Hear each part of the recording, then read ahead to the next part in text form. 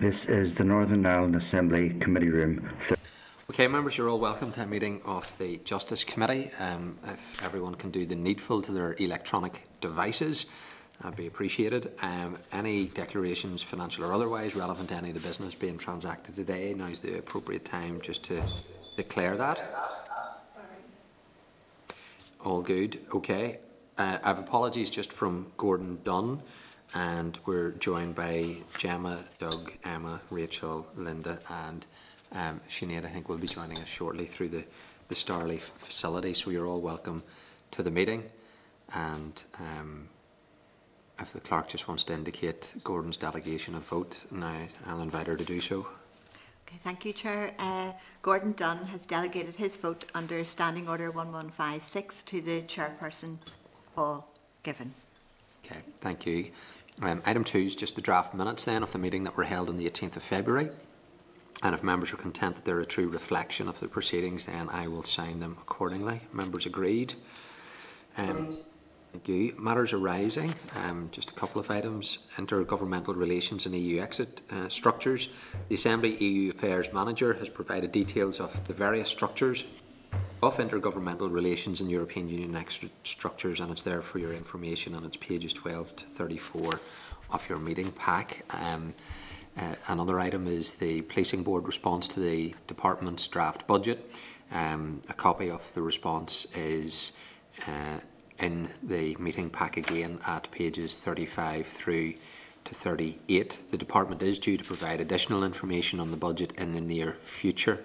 Uh, so if members can just note this uh, response from the policing board at this stage. Chair, can I come in there on yes. raising just on the budget issue? The, as you'll all be aware, the spring supplementary estimates has been published, and if you open the the yellow big yellow book up at 185, page 185, which is the Department of Justice uh, part, they have actually named, and I don't think I've seen this in our department, but they've actually itemised their uh, proposed changes into AME and DEL spending.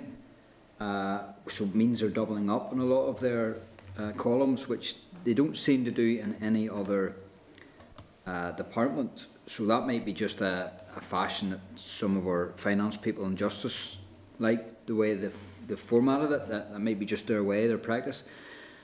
But the, the substantive piece for me is that in column A14, which is Legal Services Agency Northern Ireland, they propose changes uh, to a 83 million net provision. They, they propose increasing that by a further 40 million. And I just don't know why that is the case. And it's just to try and find out information on that. What, why that uplift? Because it's, it's, it's, quite a steep uplift uh, in change and in, in gross provision. Uh, you know, by nearly 50% of what the standing net provision was. I just wanted to know what that would be. So it's A14, Legal Services Agency Northern Ireland, and it's the Part 2 changes proposed. Okay, well, if members are content, we'll raise that with the department and seek some more clarity around that issue. Um, the other item is, again, Mr. Frew, you had raised this last week, but we had checked around the pay settlement for police staff. Um, the department has advised that it wrote to the PSNI on the 2nd of February confirming that it had approved the pay award for the 2019-20 year for uh, the police um, non-industrial administrative staff group, uh, staff group and that award then is obviously an operational issue that the PSNI are to take forward so it was just to provide you that update. Uh, item four then is the Criminal Justice Inspectorate report on the care and treatment of victims and witnesses in the criminal justice system. Um, the committee agreed that an official from CJINI would attend today to outline the key findings and recommendations in its report on the care and treatment of victims and witnesses in the criminal justice system. The relevant papers are pages 40 through to 173 of uh, the meeting pack. Um, so members, there obviously is a residual interest here because there was a Justice Committee inquiry that was carried out on this. I was the chair back then. Um, I don't think any other members actually that are on this committee were involved in that, but uh, there was a, an inquiry and the committee made recommendations, so there is an interest here around how this has been taken forward or not.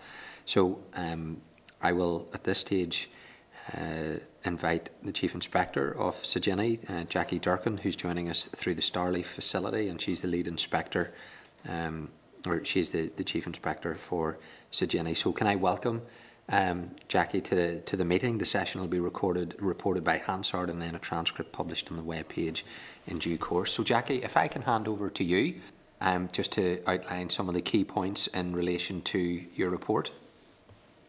Thank you, Chair.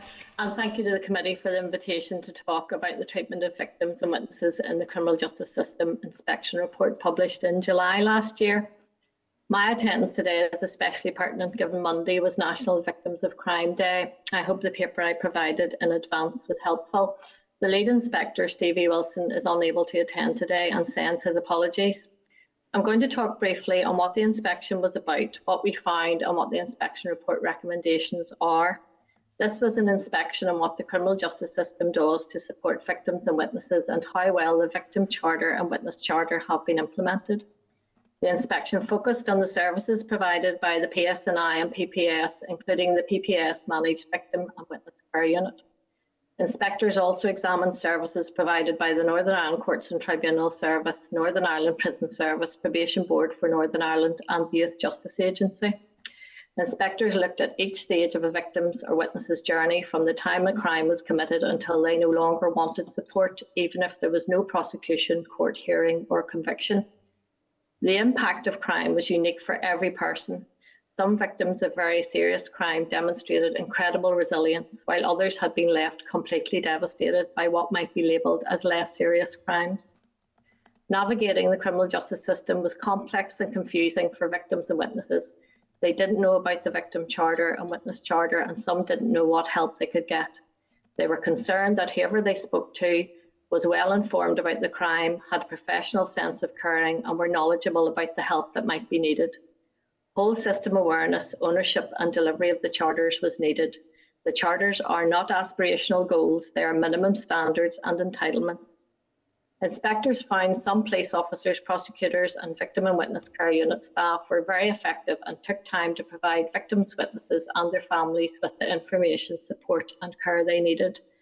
Some were frustrated that there was too much emphasis on processes and targets like issuing letters on time at the expense of having the time and space to engage with victims and witnesses.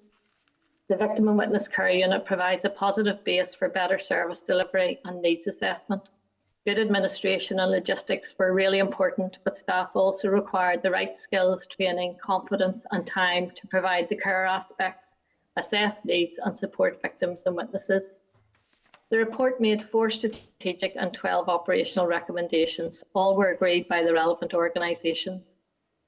The strategic recommendations are centred on an effective communication strategy to raise awareness of the Victim Charter and Witness Charter and how information, signposting to service and support providers, and entitlements to services can easily be accessed by anyone in the community who needs them. A review of vulnerability within the PSNI strategic assessment framework and how risk assessment tools might be used for a wider range of vulnerable victims and witnesses. A review of the victim and witness steering group with senior leaders as consistent members for each organisation he will be their organisation's victim champion and report to the head of their organisation. In short, people who can take decisions and get things done.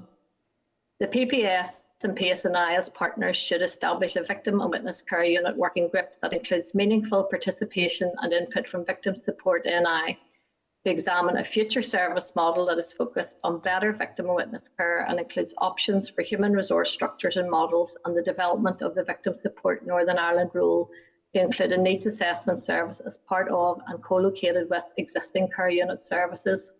Options and recommendations were to be submitted to the Criminal Justice Board within nine months of report publication. The 12 operational recommendations included implementation actions for PSNI, PPS, Northern Ireland Courts and Tribunal Service, the Probation Board for Northern Ireland and the Prison Service. Several required work in partnership with Victim Support NI and one included the NSPCC. In summary, they included better induction and training for victim and witness care unit staff.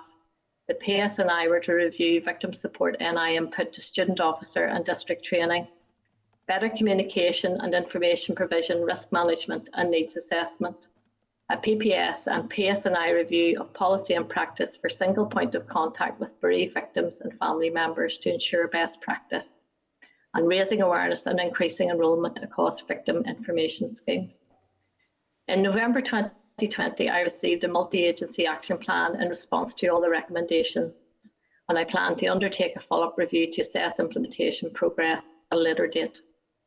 If there was ever a drive needed to deliver better victim and witness services and against charter expectations, it's now.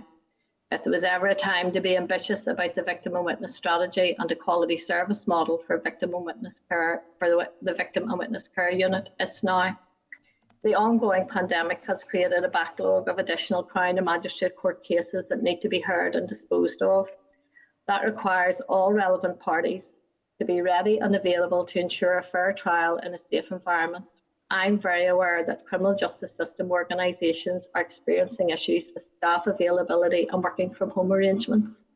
I'm also acutely aware that the availability and readiness of defence solicitors and counsel are vital to case progression. However, recovery plans to get outstanding caseloads back to where they were lacks ambition, and the lessons learned and benefits gained during the pandemic need to be banked and built on vulnerable victims and witnesses will have become more vulnerable and anxious as uncertainty about if and when their need to give their evidence drags on.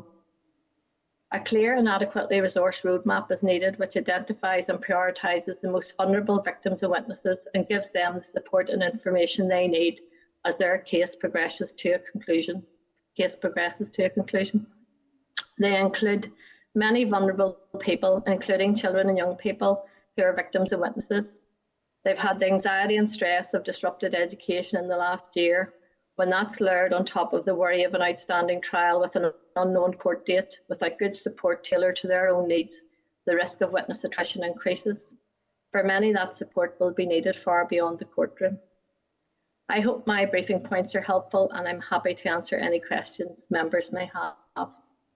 Great, thank you very much, Jacqui, for that uh, and for carrying out the inspection um, in the first instance. And it's been very helpful in revealing what I think is a very serious failure on the part of the criminal justice system to take forward what was a committee inquiry with numerous recommendations incorporated then in legislation when we talk about the Victims Charter and Witness Charter, and yet there hasn't been the cultural reform that there should have been in the criminal justice agencies. Uh, and we, as politicians, can take evidence, which we did do, hear from witnesses and victims, come up with strategies, which David Ford, the then minister, did come up with in terms of a victim strategy. But if it's not going to be implemented by people in the organisations that are responsible, it's not worth the paper that it's written on. So I'm deeply disappointed in terms of the outcomes um, facing victims of crime and witnesses in terms of their experiences in the criminal justice system and we need to see real, tangible action to put this right. In, in terms of some of the key areas, um, and I know one of them was around the establishment of a victim and witnesses care unit. Um, we talked about a one-stop shop type scenario for, for, from the time you have uh, a criminal action against you and you're a victim being passed about from the police to the PPS to legal representatives and, and so it goes on, including then when it comes to uh, custodial sentences, prisoner being released, uh, and sometimes people that have met the, the, the person that was convicted of a crime and they never knew they had actually been released. This was all meant to be addressed through the establishment of these care units.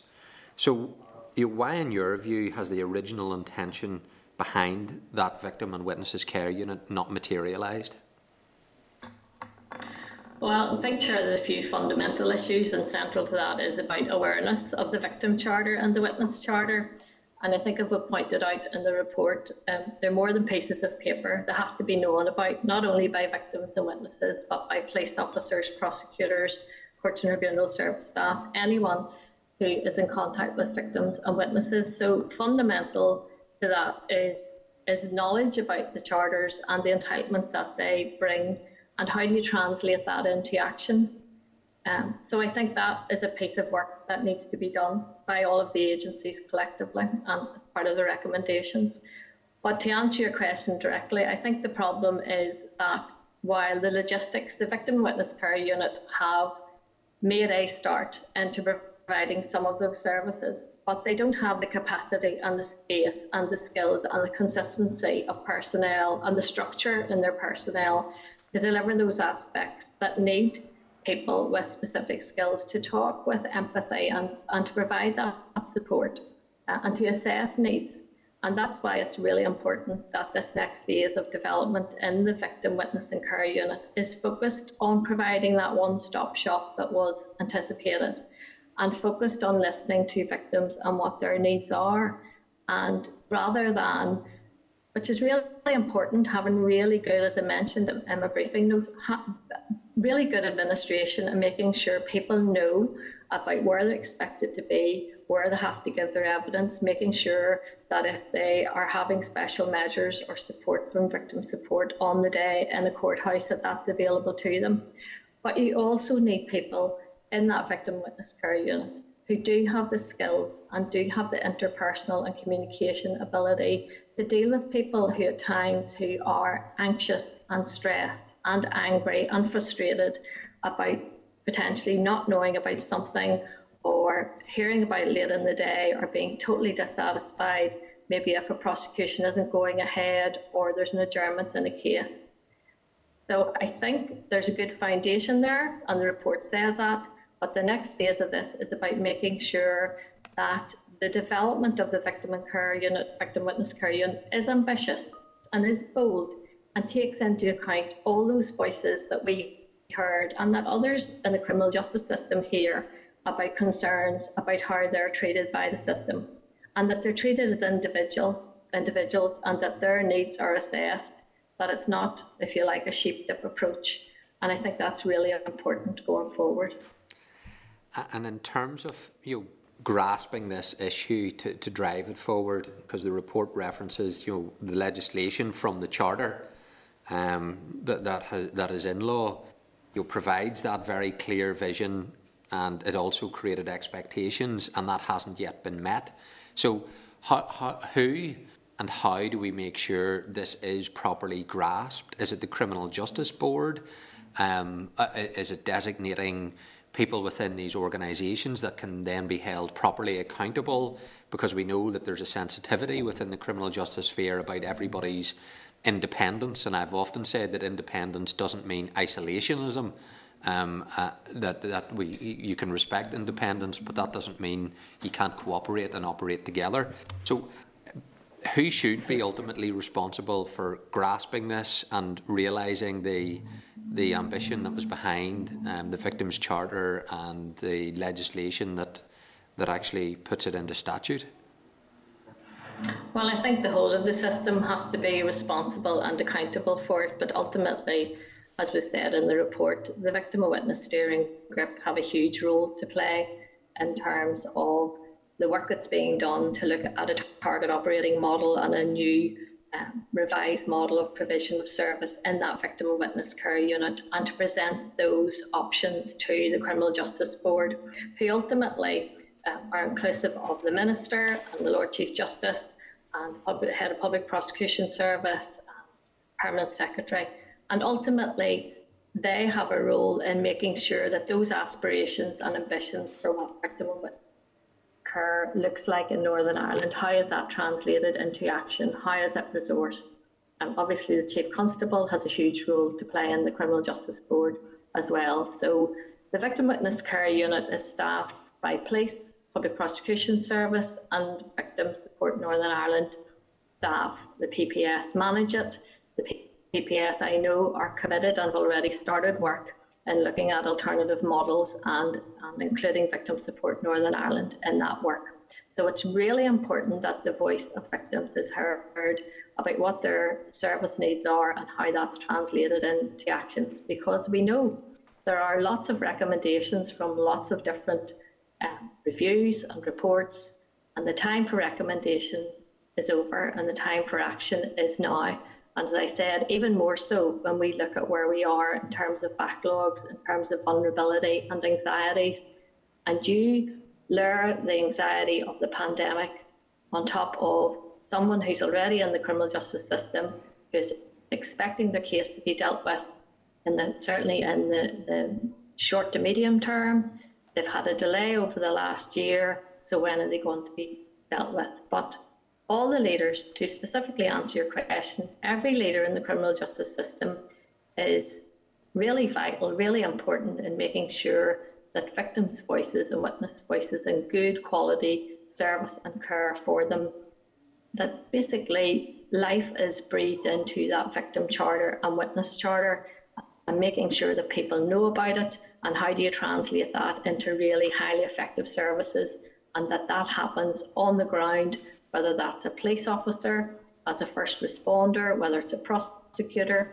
whether it's a court clerk or a member of the prison service or what our probation uh, board for Northern Ireland. So everybody has to own it to make it work.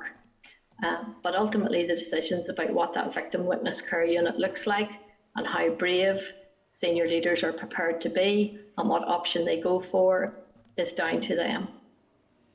Yeah, I couldn't agree more, um, Jacqui, with your, your comments around the recommendations and the time for that are, are, are over. It's action that's needed um, because that's what we wanted years ago and the victims uh, and witness charters have been put in place. The five-year strategic plan, we're all meant to achieve you know, what your report even has, has said needs to still be achieved, and, and that's what concerns me, that these organisations have not put into effect the cultural changes um, that um, should have been put into effect, and that, that concerns me because that failure has an impact on those that we're meant to be supporting the most. And I know from experience there are individuals who, do get well looked after by, you know, in terms of police and PPS. And I've brought victims to the PPS and met with them individually. Um, although the, syst- the systemic failures here is what the problem is. We can all point to individuals that can say my experience after a crime was one that I was well looked after but there is a systemic failure here in the criminal justice system um, that needs to be addressed, and I hope your report, your re report, leads to that. And and finally, for me, you know, how much confidence do you have that this multi-agency action plan will fully address your report's findings and recommendations within a timely fashion? Yeah. Well, I mean, I have to be hopeful, and I just want to echo what you said there. I think it's really important, and, and the report notes it as well there were some really good examples of really highly effective police officers and prosecutors and, and staff in the victim witness care unit who were go going above and beyond and had uh, provided that dedicated and professional support people. And I think it's important not to lose sight of that as well. But you're right, there is um, a sense that this is an opportunity not to be missed. Uh, I'm hopeful that once we have an agreed action plan, um, it has all the indications I certainly had to date that the things are happening, but we can't have another kind of go at this. This has to be uh, grasped and has to be advanced now. And as I said, I think in terms of what the victim witness care unit, the care bit needs to get the emphasis. Um, there, there are people who are very able uh, very highly effective administrators that can issue letters and can you know, make arrangements for things to be in place. But in terms of really listening to the concerns of victims and witnesses when they contact those services and signpost them to other services that will help them with the trauma and the stress that they're experiencing, then I think that needs to happen. Um, I think you, Dame Vera Baird QC has very recently has actually consistently over some time, but very recently has talked about uh, victims and witnesses being treated as bystanders. But victims and witnesses are vital to make sure that there is a fair trial and they have an opportunity to give their evidence. The police put a huge amount of resources into investigating crime. Prosecutors put a huge amount of resource into prosecuting crime and we have to make sure that victims and witnesses are taken care of so that they can give their best evidence when they need to. Okay, thank you, Jacqui. I'll bring other members in at this stage, so if I can bring in Linda Dillon.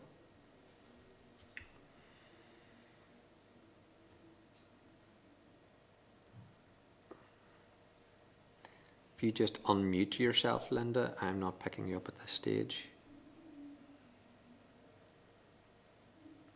Try again there.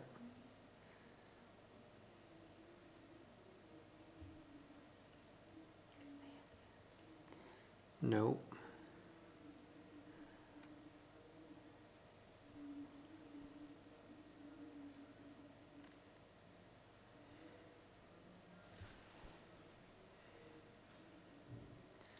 No, it hasn't came in just yet. Linda, can I, I'm not picking you up, so let me bring in um, Jemma Dolan and then I'll come back to you, Linda, if you, if we can fix that. So um, Jemma Dolan.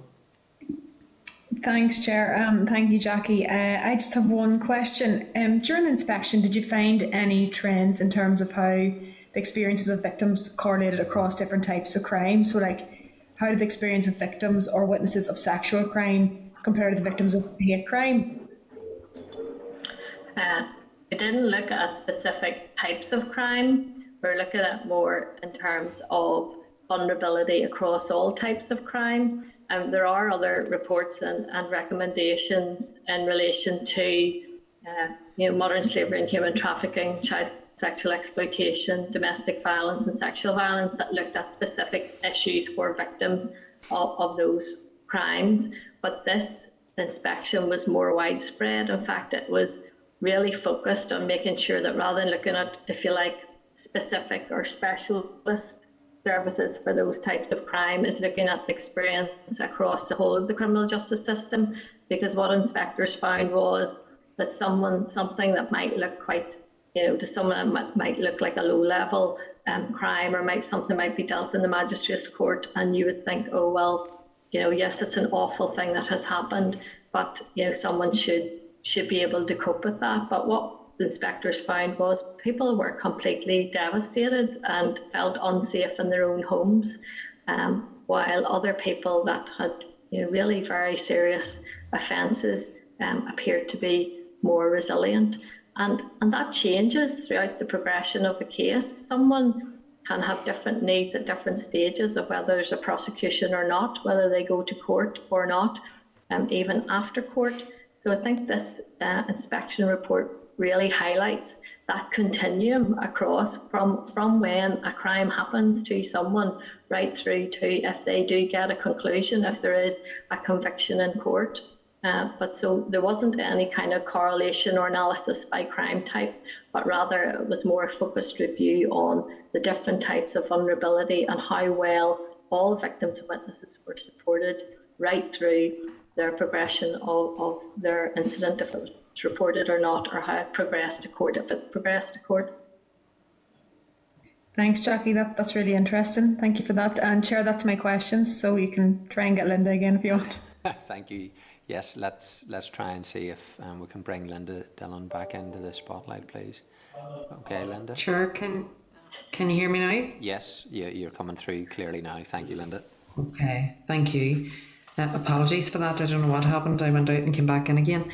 So thank you very much, Jacqui, for your for your presentation. And I mean, uh, some of the questions that I have have been answered in, in your responses to the chair. But just a, a, few wee things. First of all, uh, did you did you pick up any, I suppose, sort of themes around where the blame tended to lie, regardless of who was actually to blame? So, I mean, this is anecdotal, but I very often find in dealing with um, my own constituents and with different issues that the blame lies with the PSNI regardless of where the blockage is. So if it's PPS who decide that there isn't enough evidence to charge, or if it's the judge who decides that they're going to bail the person or that they're not going to send them to prison, the, the, the blame always comes back in my in my experience to PSNI. Is that something that you picked up in, in your inspection or or not? Is that just something that I mean, that, that I've experienced, but it's not the general experience.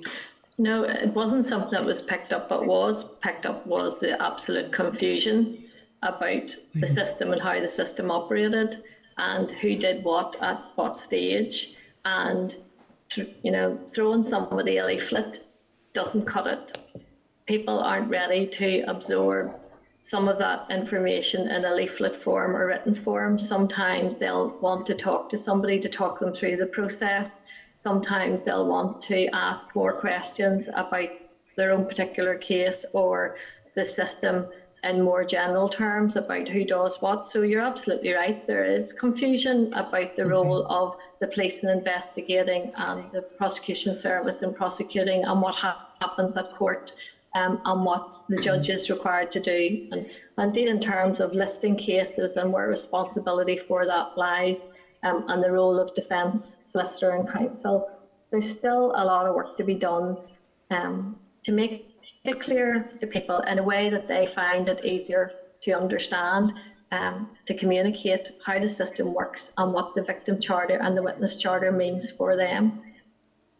I think you're right. I mean, that point of contact is is vital. That assistance with understanding the system, because as I say, that's where I, I very often find, and that has a knock on impact in terms of confidence in policing. So, I mean, certainly of, of anybody, I think it's to the, the chief constable's um, advantage to certainly um, you know, fulfill these recommendations because it does have an impact on, on confidence in policing. There's absolutely no doubt about that. But all of the other leaders, as you said, have to have to play their part in that. He, he can't do it on his own, and, and that organisation can't do it on their own.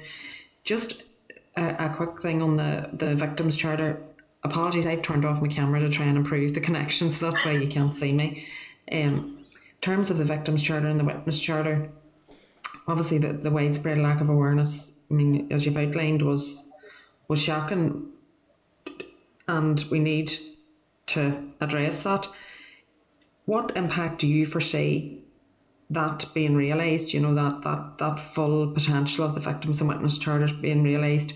What impact do you foresee that having on victims in practical terms? And you've kind of given a wee, you've touched on that already, but but I mean, in, in real practical terms, if, if they're aware of it, they understand it. What what are, what do you think the the outworkings that will be? Well, I think the outworkings have to be the victim witness strategy, and that has to be focused on delivery against the victim charter and the witness charter. Mm-hmm. So that's for the victim and witness, you know, steering group to look at the strategy and the current strategy and say, does this deliver against those charters? So it's turning what they have in the strategy into, you know, what you need to get what you want. So uh, you, you know, they need to look at what are the aspirations of fulfilling the, the requirements of these charters that are entitlements. Do they deliver mm-hmm. against access to information, access to services, you know, special measures when they're required, assessment of need.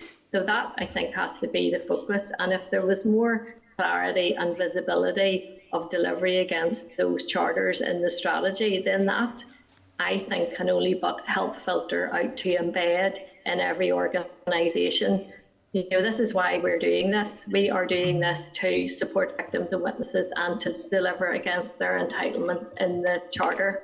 Uh, and I think those connections can only but help in terms of embedding awareness. Um, but I think the critical, one of the critical things that we have found is the, you know, uh, recommendations from, you know, myself and, and the rest of the inspection team, or whether it's from Sir John Gillen or from whatever, other, any other reports, but victims and witnesses have been telling us this for years. This is not new. Mm-hmm. You know, people being confused about how the criminal justice system works and what annoys them or who to blame regardless. Um, none of this is new. Victims and witnesses have been telling us this for years.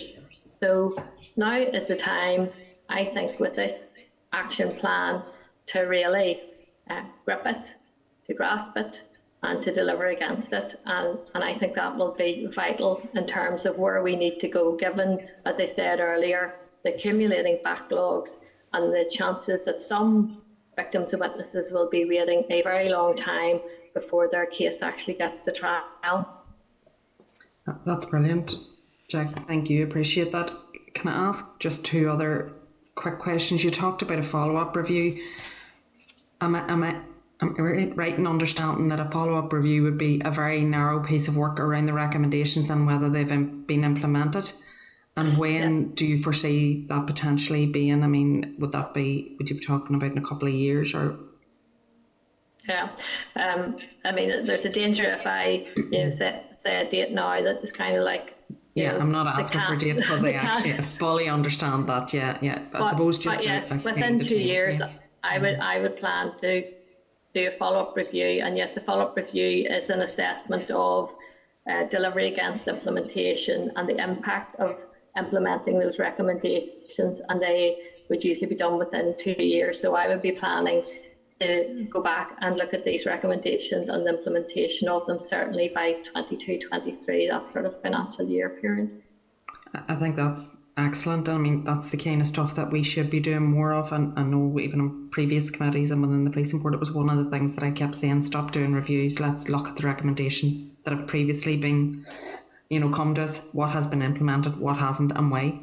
And I think that that is something that we need to be doing right across our, our committees and our departments. Just a last question, and it's not actually in your report, but I'm asking for a view. Um, I don't know if you're you're familiar with the the Barnahus model in relation to um, Um, child I'm aware- victims.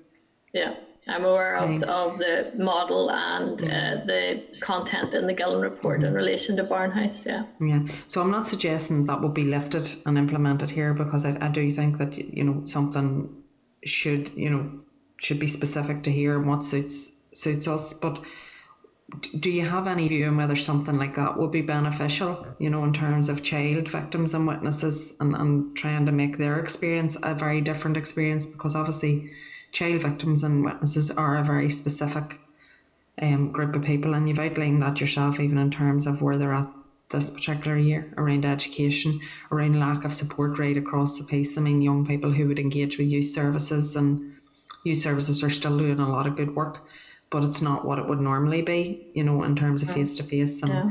and and things like that. So I, I'm just wondering, is there? Would you have a view on that? If Yeah, you don't, well- that's fine. I'm not a. No, No, well, what well, what I would say is that I think trauma informed practice is something that is coming more and mm. more to the fore. And I think, you know, even in terms of victim support, NI training with police and and how that informs service delivery and practice and, and why um, victims and witnesses might be feeling the way they are. But um, if the Barnahus model, I know it's being looked at by departmental officials as part of the Gillen review, but if it, I think it needs to be informed by children and young people and Derek what and listen to them about what they want and what they need. But I think certainly in terms of piloting it in Northern Ireland and what it might look like, but it has to always be with the right resources. It can't be a half-hearted attempt. If we're going to do it, then let's do it right to give it every opportunity for success. Um, these, you know, to, to get a really effective high quality service model is going to need resources and it's going to need the right people. And we know that. And sometimes what we do is front end a pilot with, you know, the really early adapters and people that are, are going to make a success of it no matter what. But then you say, right, well, that's enough. We've piloted that for long enough. Then how do you translate that into live service so it doesn't become, you know, if you only live in a certain geographical area of Northern Ireland, you have access to those services. Um, and actually, for children and young people, when you take them far away from their usual home environment and community, that in itself can cause trauma. So I think we need to mm-hmm. think very carefully about what that might look like. And obviously, officials responsible for doing that sort of modelling and consultation will, will be looking at all those issues. But I do think, even among criminal justice system practitioners, trauma informed practice is something that is coming more and more to the fore, and there's more an awareness of why that drives certain behaviours or emotions in individuals. Jacqui, thank you very much. Um, Chair, thank you. I suppose at this point, I just want to raise a, a concern, Chair, and it's probably more for the, the next part. But given um, the points that, that have been made by the, the Criminal Justice Inspector, particularly around that point of contact, and we know the importance of communication between all of the different bodies and victims. And when we seen what was put forward by the probation board in terms of the impact on their services and what they'll be able to do, or rather what they won't be able to do in relation to victims because of the budget constraints that we're going to face. I, I mean, I have big concerns, but that's not a not a question for you to answer. I'm just flagging that up for the for the chair for something that we need to be looking at as a, as a committee chair. Thank you very much. Okay. Thank you. Thank you, Linda. Um, can I bring Emma Rogan in from the audience into the spotlight, please? Thanks, Chair, and thanks, Jacqui, um, for your presentation um, this afternoon. I have a couple of questions, if that's okay. Um, Jacqui, the strategic recommendation four, it talks about the development of a victim and witness needs assessment service to work alongside the existing victims and witness care unit um, services that are in place. Can you give me some sort of in, more information on what that needs assessment service is and how it'll improve the services? Yeah, so at the minute, co-located on site in the victim witness care unit, there's you know one in Derry and one in Belfast, and you have police officers and you have public prosecution service employed staff and victim support Northern Ireland staff. And what the inspectors found was that there needed to be more work done in conjunction with victim support and when an assessment of need was carried out. So at what point was a needs assessment for what that victim or witness needed in terms of support or signposting to services, and at each stage what their requirements were. So, as we know, some cases may take some time to move through to prosecution, through to court, and then for trial or disposal. So it was making sure that at each point that that was informed by good practice from victim support NI who had um, different skills potentially to the police police officers or the PPS staff who are in the victim witness care unit and making sure that the victim voice again was heard and that needs assessment and, and what they needed at a particular point in time, which can change as, I say, as a case progresses through the system. Okay, um, thanks, Jacqui. I have one um, final question just for you. What is what's your assessment of the current aftercare support for victims of crime? You know, once their case is either um, after it's been to court and it's whatever the outcome may be, or if a case fails um, because of lack of evidence or, or whatever other reason it might be that it, it's deemed that it won't meet the threshold for um, for for court. Well, Victim Support NI provide a community service even after a case has been disposed of, but as well as, um, I mean, in terms of, of a, the victim information unit and information that is available um, to victims, whether you if that's it. I know, and there's some discussion and, and it's mentioned in the report about whether it's an opt-in or an opt-out model, but it's about making sure that victims have access to information um, at an appropriate point. So I do think there are support services available, the, the effectiveness of signposting at the right time to the right service for them is something that again that is mentioned in the report. But I, I think there are services available, but it's again it's making sure the victims and witnesses can navigate through the system and provided with information and the right signposting to those services when they need them. Um, so I, I think it's there, but again, it's about clarifying and making it very clear what's available and how they access them. Okay. That's great. Thank you. Thanks, Jacqui. I have no further questions, Thank Chair. Thank you. Okay, thank you. Um, Sinead Bradley. Thank you, Chair, and thank you uh, for the presentation, Jacqui. I suppose um, I, I'm really concerned about this because you know, the report is thorough um, and it, it really does take into account the spectrum of people um, who may be reluctant uh, partners or stakeholders in the whole justice family, and it could be a world that's unknown to them and a whole world of language that's unknown to them. And I note one of the comments saying about each story, each individual victim or witness may need a very specific and different type of care package surrounding them, uh, given at the outset that they even know that there is such a thing as support available to them. And when I line this up with the other conversations we're having a committee about budgets and resources, and I know Jacqui you mentioned that you know capacity is an issue um, for some of these organisations. I, I, I just do wonder where this scope is um, you know, realistically, currently within the organisations. Um, and I accept that some of it is a cultural change. It's not all about finance. You know that that there there is that need. But I think for it to have any real effect, that recognising that this is specific to individuals and it is about a person to person. It's not a letter in the post or a leaflet. You know, it's it's that and that that's quite labour intensive um, going forward. You know, so I just want to find out if you can see where the scope is in that.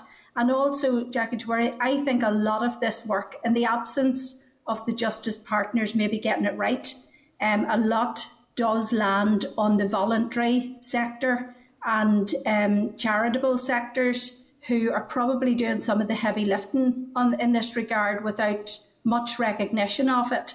And I'm really conscious in this new world and new climate that those organisations are probably struggling to make ends meet. And if you anticipate, Jacqui, then you know the the the services that are there and people are trying their very best. If you anticipate that that even they might be under further threat at the moment, so we could actually end up in a worse position than we were at the time when this report was compiled. Thank you. Thank you. Um, I suppose my brief answer to that would be well, I don't think we can afford not to do it.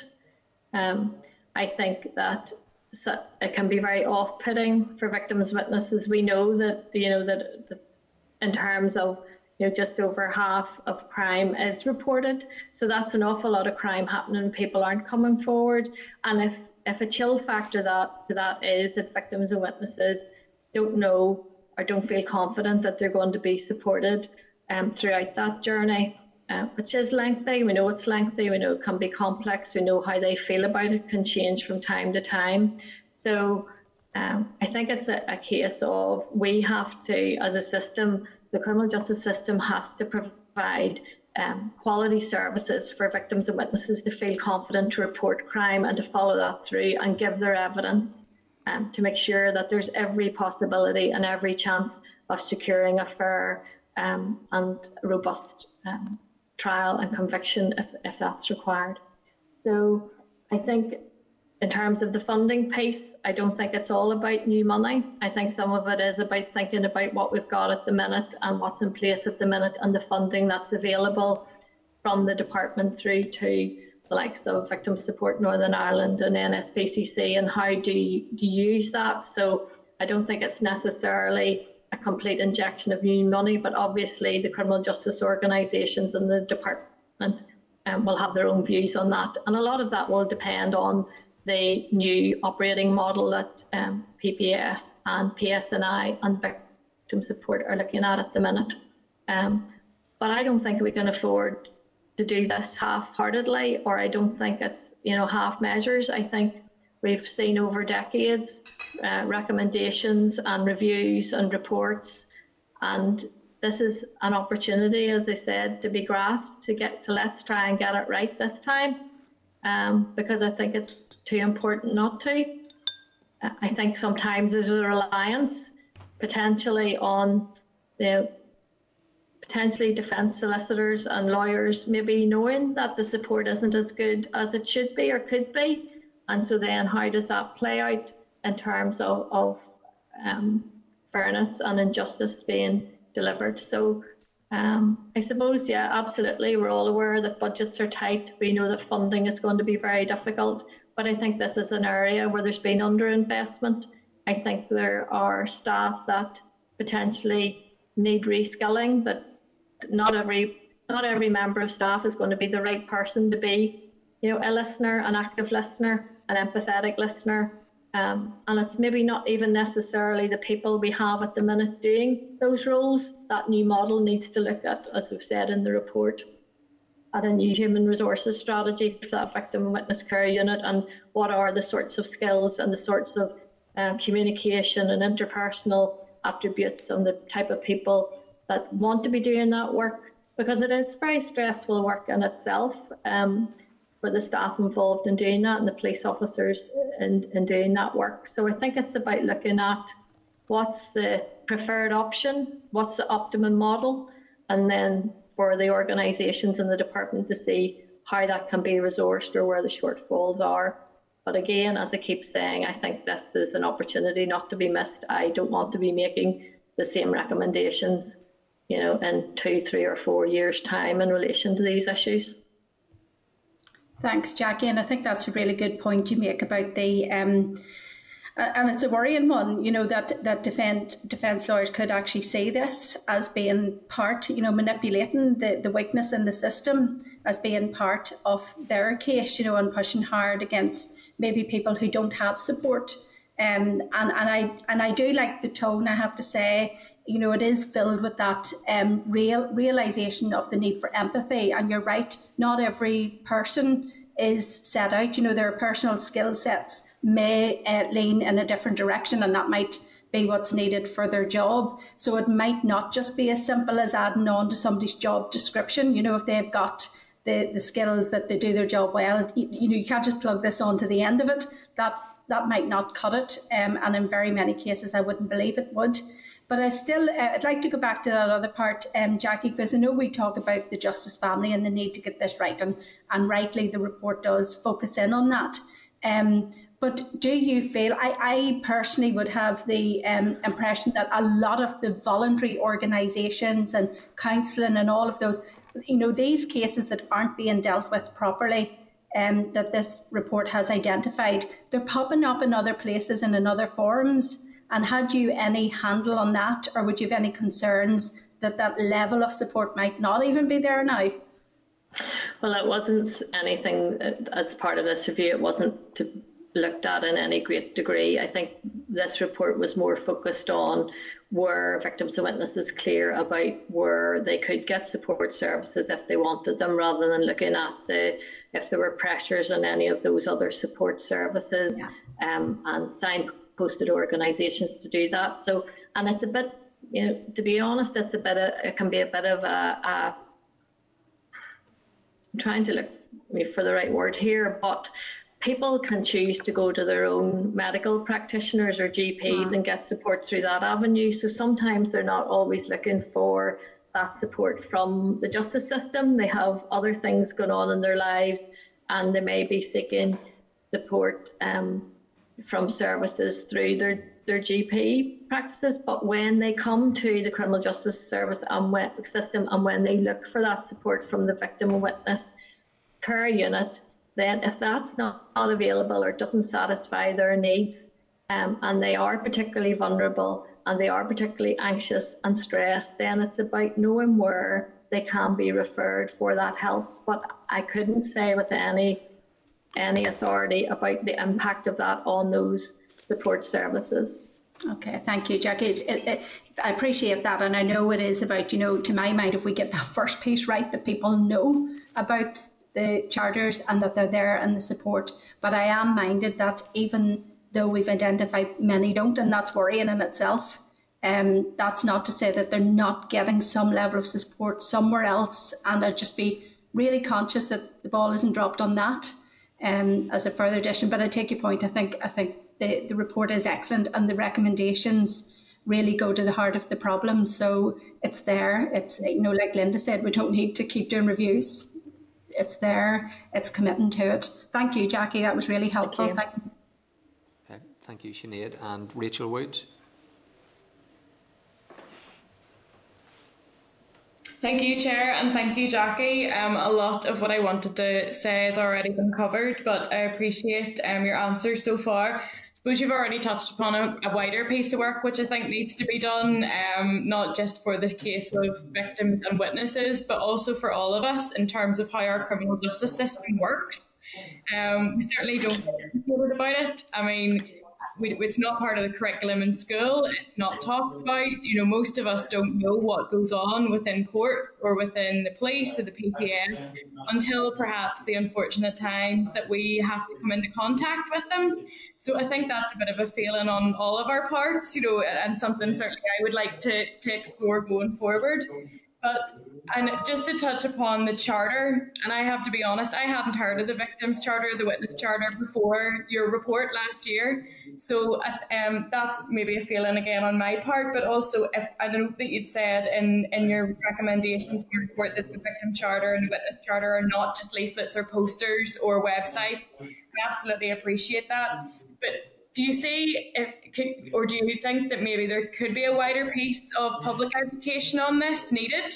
Um, and perhaps you know um, putting information out into our communities about you know this it does exist and, and you, you can access this information. And do you think that could help in any way?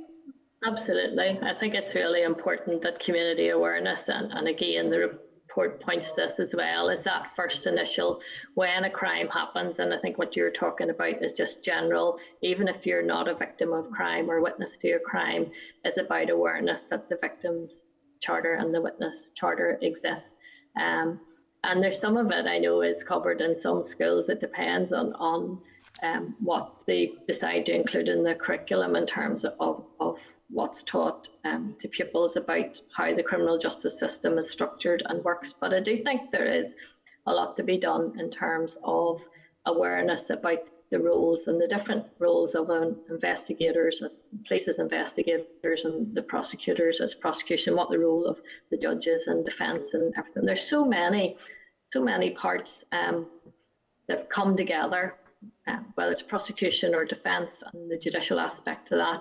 Um, it's not simple, but we have to find a way to make it more simple for people to understand, particularly those who are victims and witnesses to crime and those who are vulnerable or who may have language or may have learning difficulties or may have capacity issues in terms of them being able to understand how they fit into that system and the importance of them being supported and feeling confident to give their evidence to help secure a conviction or progress a case when it's needed. Um, and obviously, the right to a fair trial and making sure that that happens and that there are robust convictions is absolutely vital. But I do think there is a piece around communications uh, champion that we've talked about again in the report. I mean, making sure somebody at a senior level is part of that victim witness steering group to bring together those strands of communication across the whole system. So you don't have one organisation one week going out to say, well, this is what we do as part of the system, and then the next you know, week or month you have somebody else concentrating on something else to make sure that there's a collective ownership and delivery of the charters and that there's that cohesion across the criminal justice organisations and agencies about what the messaging is.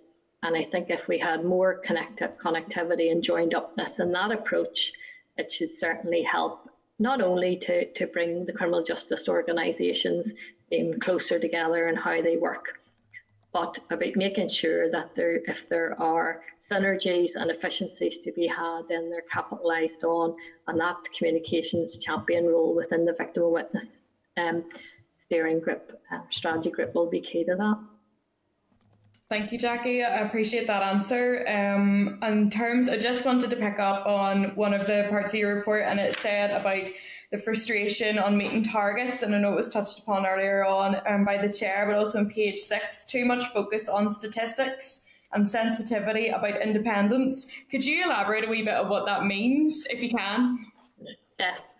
So, what the inspectors found in the victim witness care unit that um, the staff there felt there was a lot of pressure about making sure that letters were issued on time and that they met targets for administrative processes.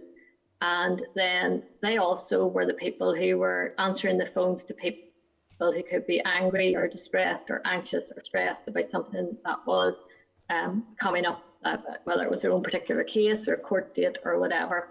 So that bit about the, the administrative targets, and that was um, certainly sources sourced from a number of, of pieces of evidence from staff who were involved in that, and police officers and victim witness care unit staff who really felt they didn't have the time to actively listen to victims and witnesses because they knew there was a stack of work. The case officers in the victim witness care unit are administrative officers, so they have a lot of administrative functions to do.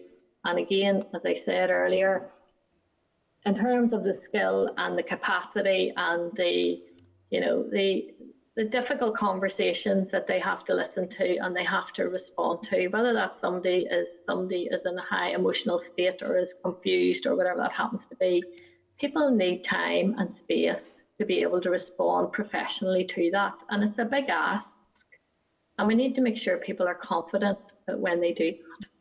So the piece, um, the second part of your question, Rachel, was about the independence piece. And yes, there is this sense that the prosecution is taken on behalf of the public or on behalf of the state, and that there's some, um, you know, there's some sense that the victim is not a participant. They're, the victim witness is a bystander. They're not necessarily a key participant when it is vital that they are kept on board, no matter how long that journey takes. If there's a prosecution and their evidence is vital to secure a conviction, that they stay with that process and they're kept informed and they're, if they need special measures to make them be able to give their best evidence, that that's in place. If they need information about how the case is progressing, then that's available to them to make sure that if they need to turn up in a courtroom to give their evidence or to give their evidence by video link,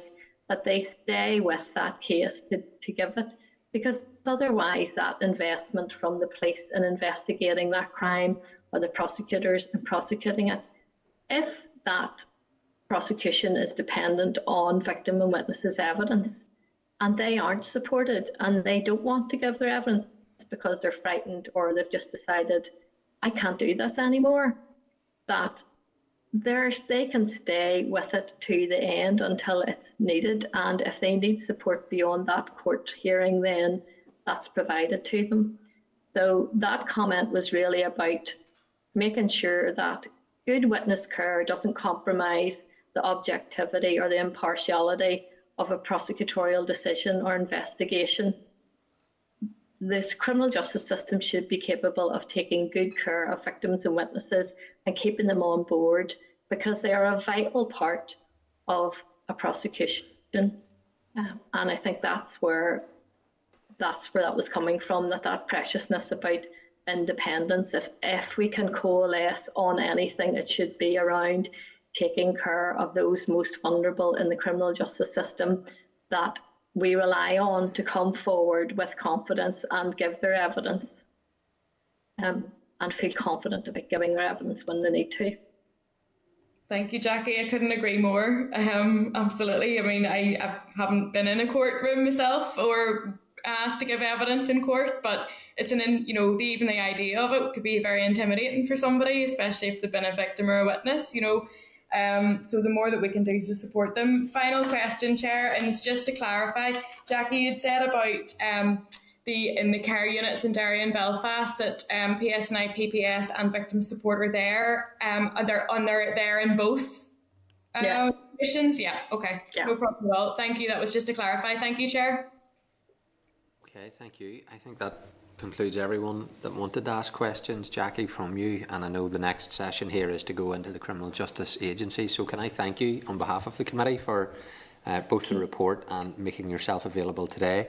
I know that this committee is under significant pressure to deal with legislation um, and I, I would like us to be able to do more in terms of some of Jenny's reports in other areas, um, but th this is one area that the committee was keen in particular to to look into it. So I do appreciate you taking the time today to, to brief the committee on it.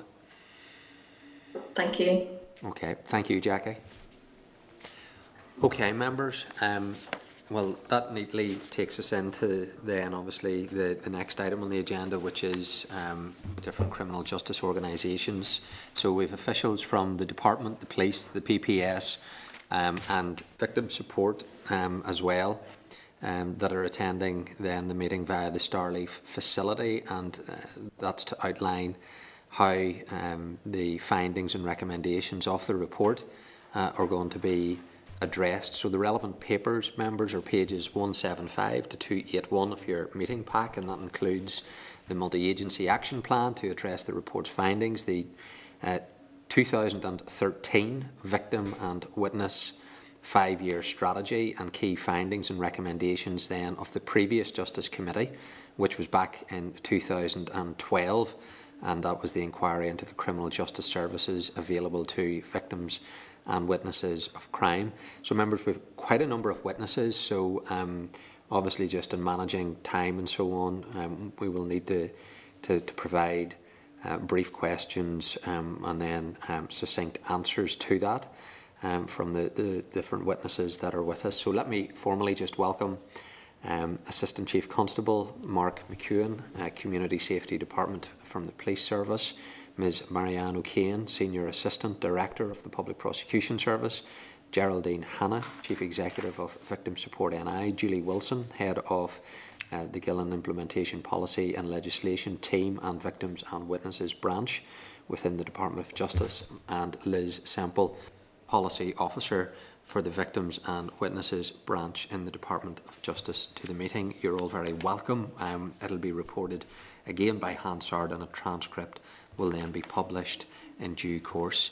So um, I think I'm going to be inviting at this stage uh, Julie Wilson, who's going to uh, provide an outline of the key points in respect of the response to the findings, uh, and that will be on behalf of everybody. Uh, and then we will move into questions. So, um, Julie, I'll hand over to you at this stage. You're very welcome.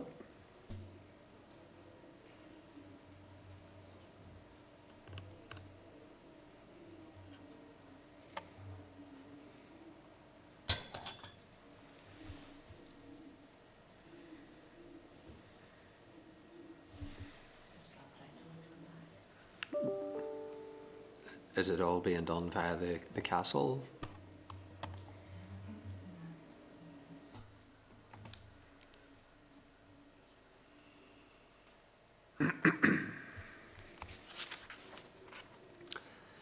Second. I don't see anybody else, Christine, on the audience list here on the computer. They all dropped out. The only one I have is Geraldine. Please don't ask me. No, well, you're, you're here from the victim's perspective, Geraldine, so I appreciate that. Okay, so Hold on a second. I can only see the Public Prosecution Service at this stage.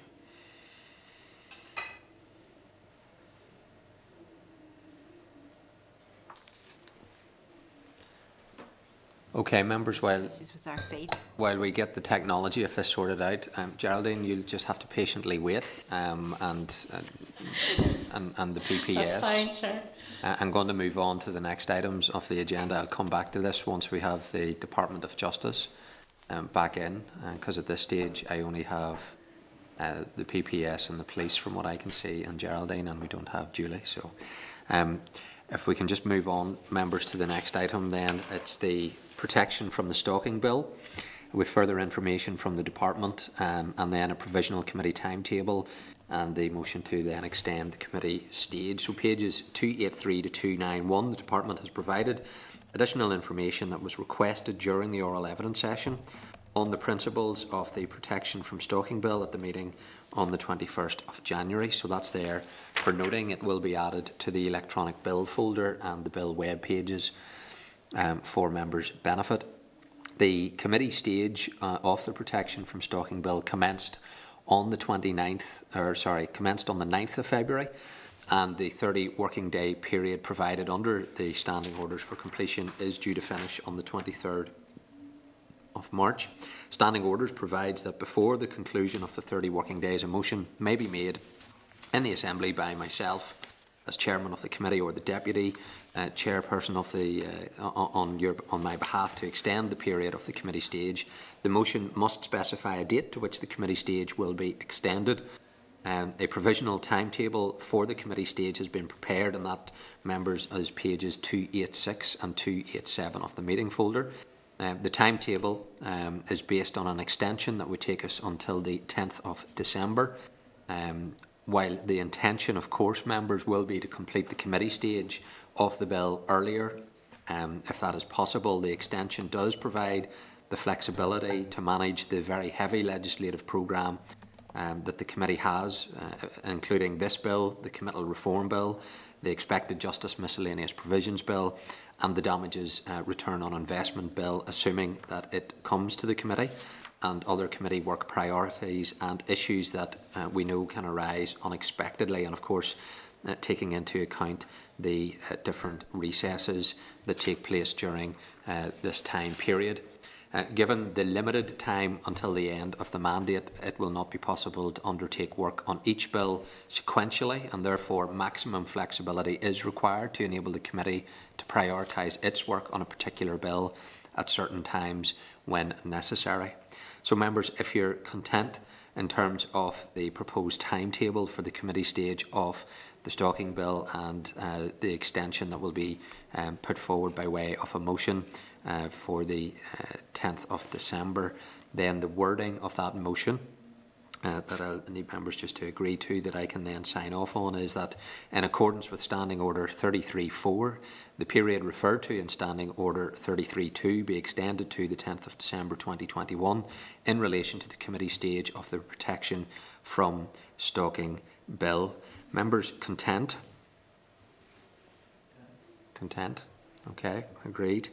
Um, so members, it, it is scheduled, I see it's on the um, order paper, I think, for the 8th of March uh, in terms of the debate that will be on that motion. Obviously, it'll be more of a, a technical um, debate in that respect in, in, terms of the procedures that are being followed. But that'll be on either the 8th of March um, or the 15th, but I think it'll be the 8th of March. Okay, so um, if I can just uh, take us back then to the previous item, if think we can go to Julie at this stage. So can I just check, Julie, that you're able to, to hear us okay? Uh, yes, Chair. Apologies, we had difficulties logging on. So, um, but yeah, we can hear you now. Yeah, no, no problem. That's it's it's the age that we're living in at the moment, so uh, I understand that these things happen, um, so that's not a problem. So if you're if you're ready, just to give your initial um, brief to the the committee, then we can pick it up from there, Julie. Thank you. Okay. Uh, thank you, Chair. Um, we're grateful for this opportunity to, to update you on our response to CJINI's report on the care and treatment of victims and witnesses in the criminal justice system in Northern Ireland. Um, we provided the committee with a copy of our action plan in November. Sejini has highlighted system-wide issues that need a, a collaborative, multi-agency and a system-wide response. And so I'm, I'm very glad that Liz and I are joined this afternoon by other members of the Victim and Witness Steering Group, um, ACC Mark McEwen, Senior Assistant uh, Director of Public Prosecutions Marianne O'Kane and Geraldine Hanna, Chief Executive of Victim Support Northern Ireland, um, who together are all leading work to implement elements of our action plan. Um, if it's helpful, I'll take a few minutes to set out the approach that we've taken, some of the progress that we've made so far, um, as well as some of the current priority work that has been initiated by the steering group. Um, the inspection found that whilst there had been some improvements, more work is needed, and in particular, it highlighted specific issues around the challenges for victims and witnesses in navigating a complex criminal justice system, the need for consistent, accurate and timely provision of information to victims and witnesses, and the need to improve both public and organisational awareness of the victim and witness charters and the obligations and entitlements that these represent. So clearly there are links between each of these issues. Um, I would also add that um, everything that we do across the whole criminal justice system has the potential to impact on victims and witnesses and can make their experience of the justice process better or worse. And so we recognise the need to embed an improved awareness of victims and witnesses of their needs and rights under the charters into our planning, our policies, our processes, and crucially, our organisational cultures. As Jenny noted, um, the criminal justice system is complex and it cuts across the roles and responsibilities and the operational priorities of, of multiple departments, agencies and services. And that's why we're responding by putting in place both strategic and operational partnerships to address the issues that CJINI has highlighted.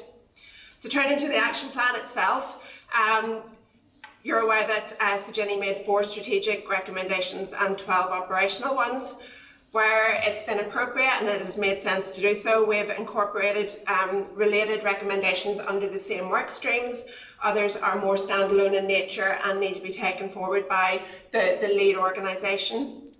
Um, however, oversight of the, the progress against each of the recommendations sits with the Victim and Witness Steering Group. Um, if it's okay with you, Chair, I'll focus on the strategic recommendations.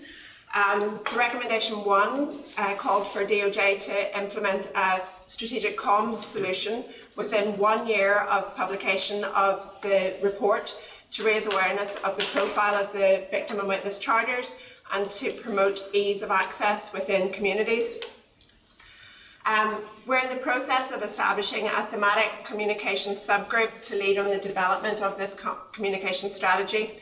We recognise that this issue, though, requires more than just a simple communication solution. It also needs to be balanced with steps to embed the significance of the charters across organisational cultures, and so we'll be also tasking the group to consider how, to, how best to do this. Um, we aim to have that strategy in place by July in line with the CJINI recommendation, and Chair, I would draw the committee's attention to um, the fact that in our published action plan we had mistakenly signalled a deadline of January for this work, but it's actually July.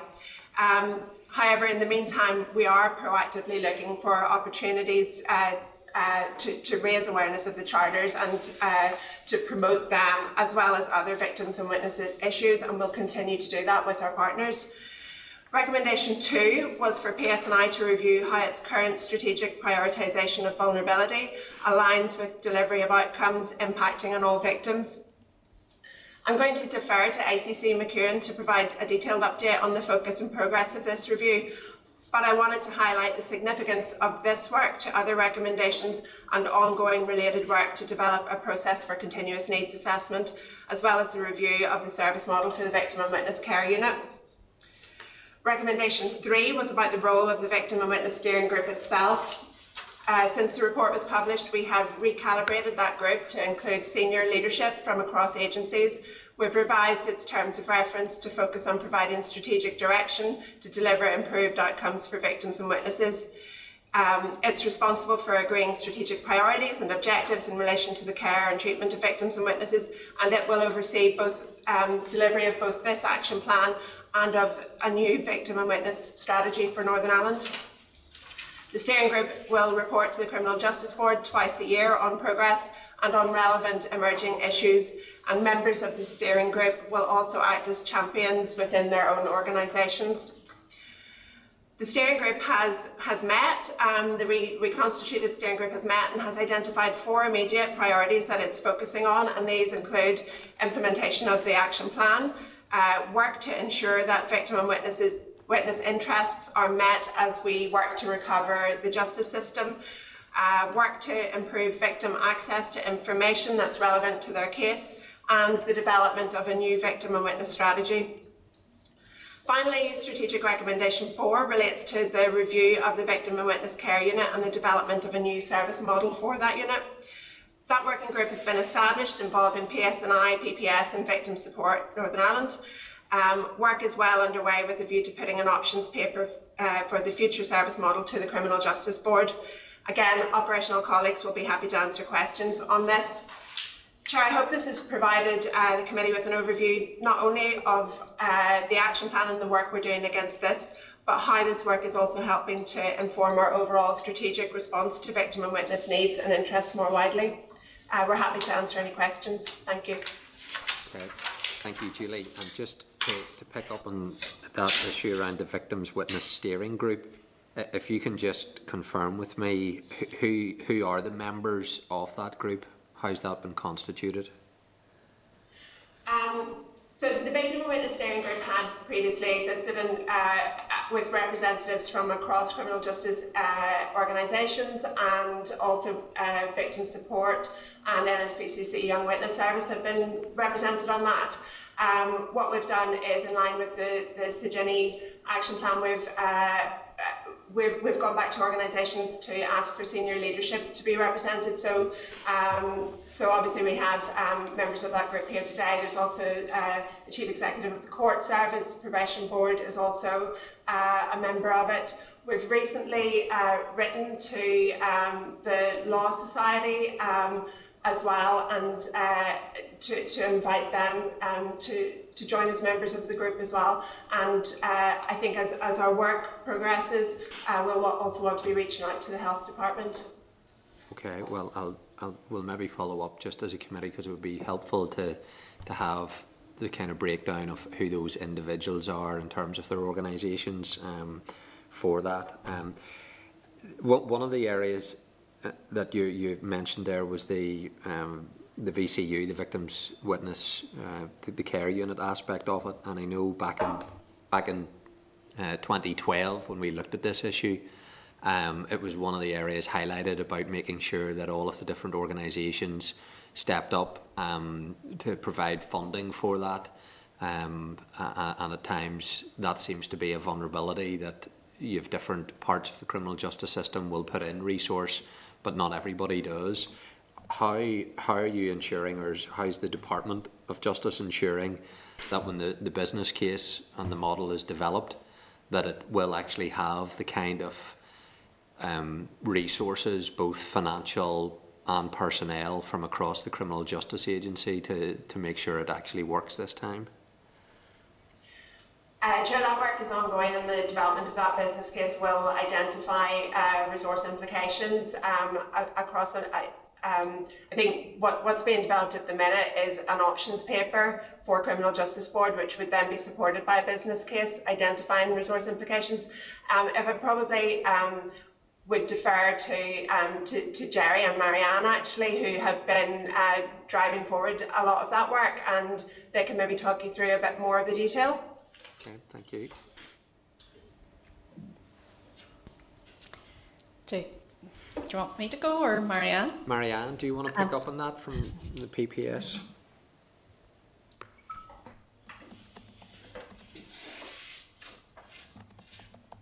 Uh, Chair, can you hear me? Yes, we can. Thank you, Marianne.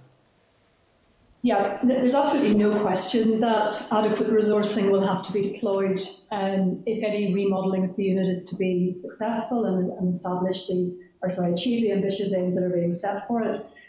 The current arrangements for funding of the unit are that we have 28 PPS staff and 14 staff from PSNI with victim support, and those staff are actually funded independently at present.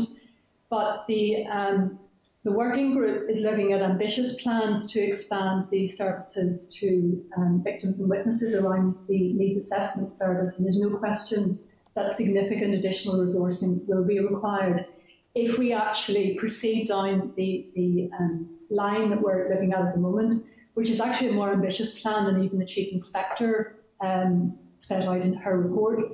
And our projections are that if we do deliver an end-to-end service as we would aspire to, that that is probably going to increase um, the numbers of victims and witnesses who will be brought into the system from around 20,000 at present to potentially in excess of 80,000, depending on the, the model that we might um, co-design and depending obviously on the point at which the needs assessment um, activities are actually triggered. So we are still looking at um, a variety of options which are to be presented to the board um, but inevitably there is a resource impact and potentially a very significant one.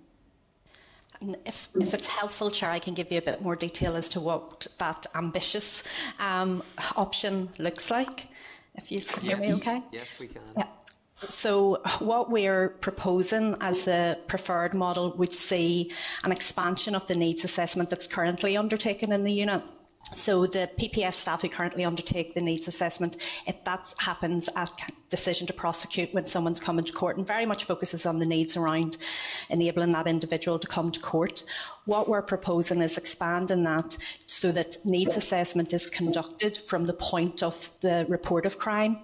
So following the police um, attendance or report over the phone, the needs assessment um, team within the unit, which will be comprised of victim support staff, will um, conduct and make contact with those individuals. Now, not everyone, given the numbers Marianne's just quoted, will get phone calls as such, so there will be a triage model. But what that needs assessment will focus on is the immediate needs of those victims and witnesses, bearing in mind that not all of those cases are going to get to court.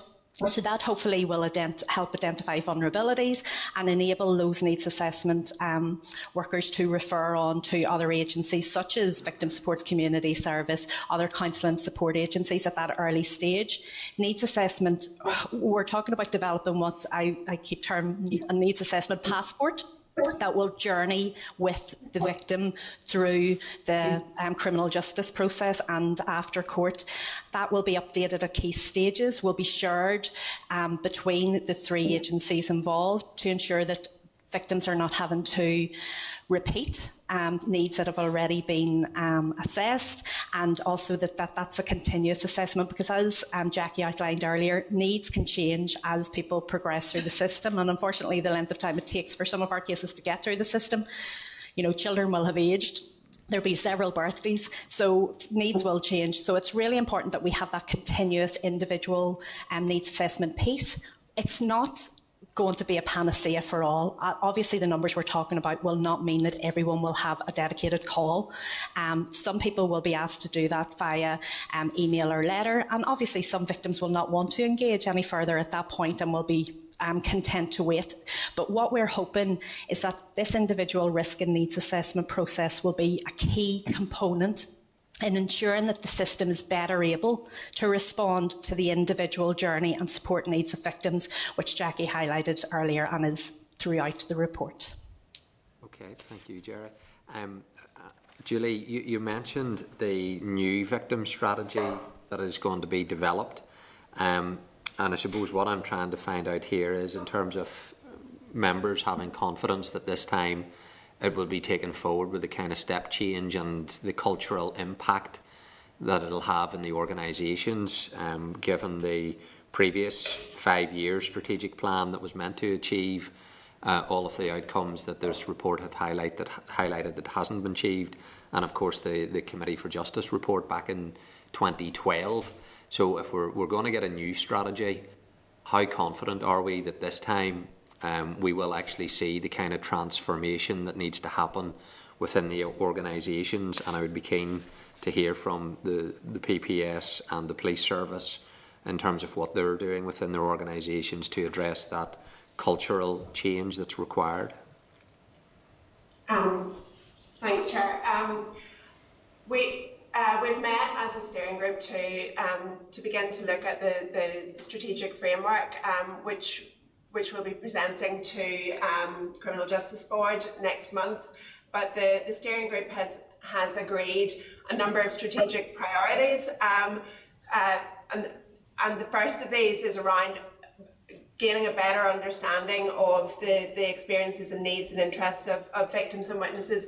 Uh, but our next strategic priority is actually focused on on that organisational um, culture change and focus that you've just described. So it's about embedding an improved focus on victims and witnesses across the criminal justice system, and that includes. Um, I think that, that that does rely on things like the strategic leadership that the steering group will uh, will provide, um, the leadership at an organisational level that will come through members of, of the group, uh, the steering group acting as, as champions, uh, it's also, I think, about um, proactively building in steps into um, our policy development, our strategic development, our operational um, practices, so that we are consciously um, considering um, the needs of, of, victims as we are going through those processes of developing policies and practices. Um, it's also, I think, about listening to uh, to, to victims and, and, and engaging with uh, victim representatives. And that's why I think it's really important that the, the uh, that victim support and young witness service are, are part of the steering group.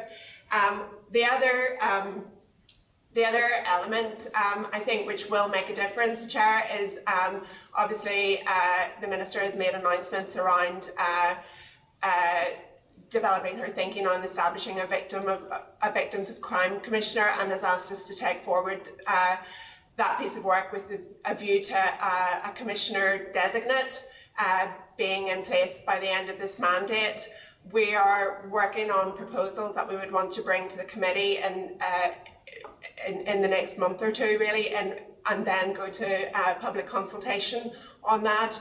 Uh, the Minister had established a, a, reference group to help inform her thinking uh, on this, but but would see a commissioner as, as having a role in um, in looking at the effectiveness of the, the victim witness charters, but also the effectiveness of our delivery across the system of, of those charters and the entitlements under them.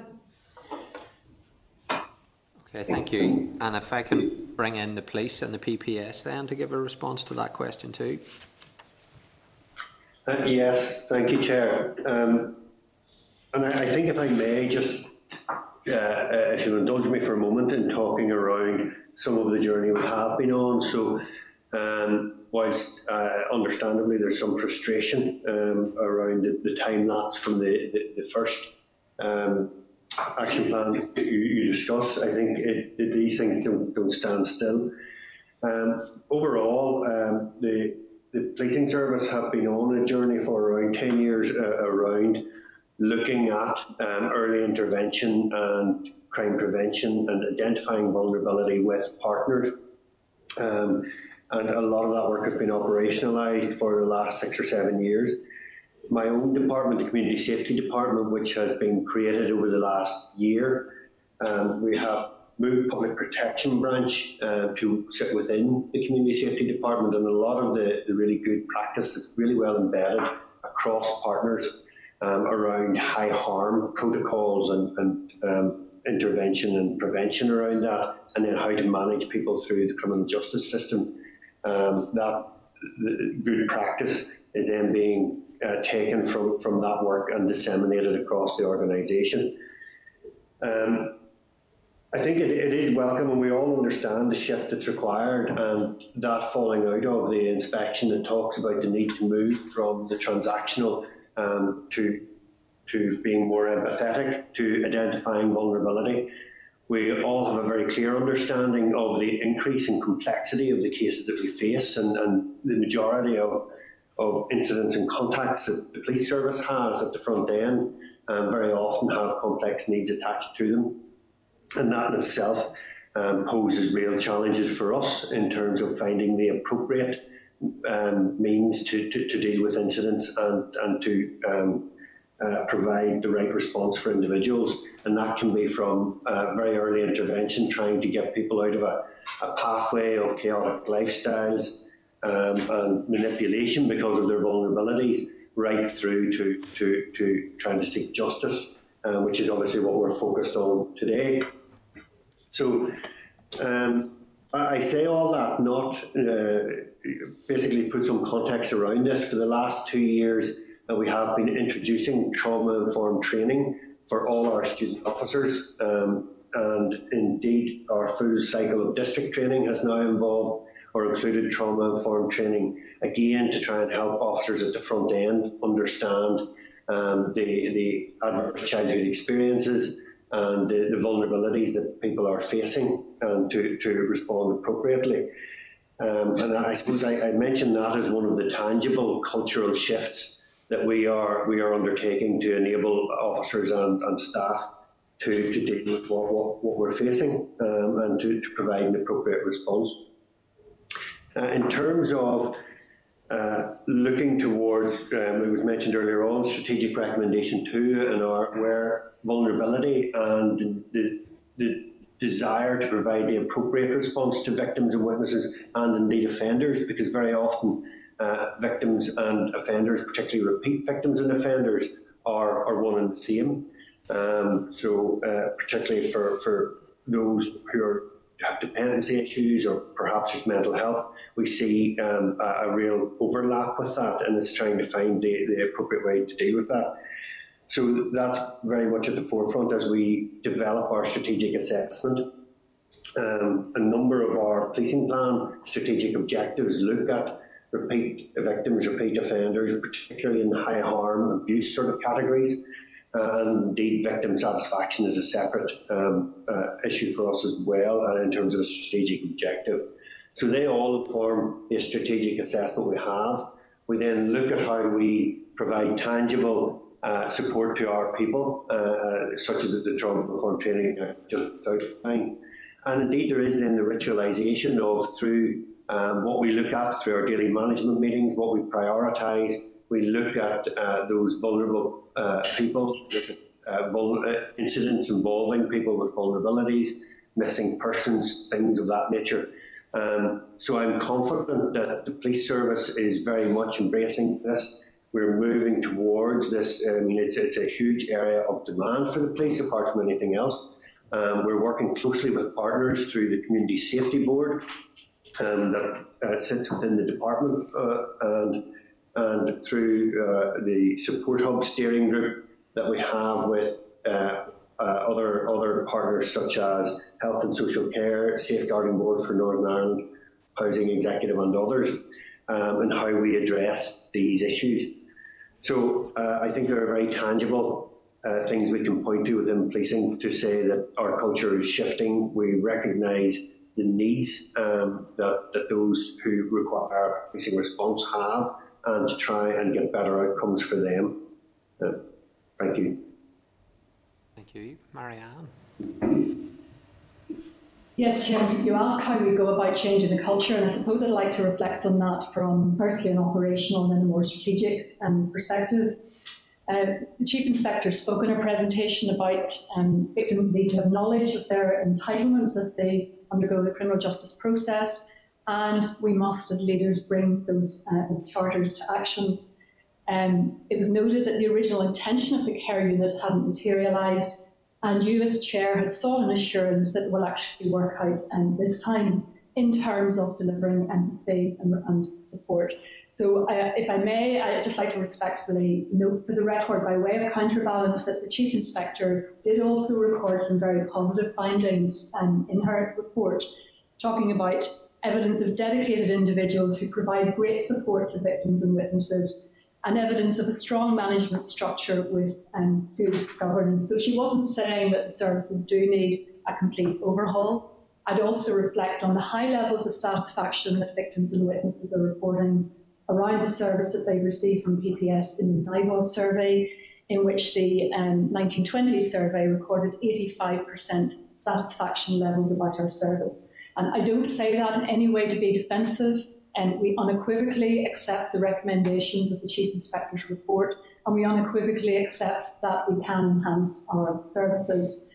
On the second challenge around sharing knowledge with victims and witnesses of their entitlements, we do inform um, individuals, we inform victims of their entitlements in an introductory letter, and throughout our communications with witnesses, we make sure that they're aware of their charter entitlements. We're published on our website, we train prosecutors, and we measure quantitative compliance um, by the staff in the care unit.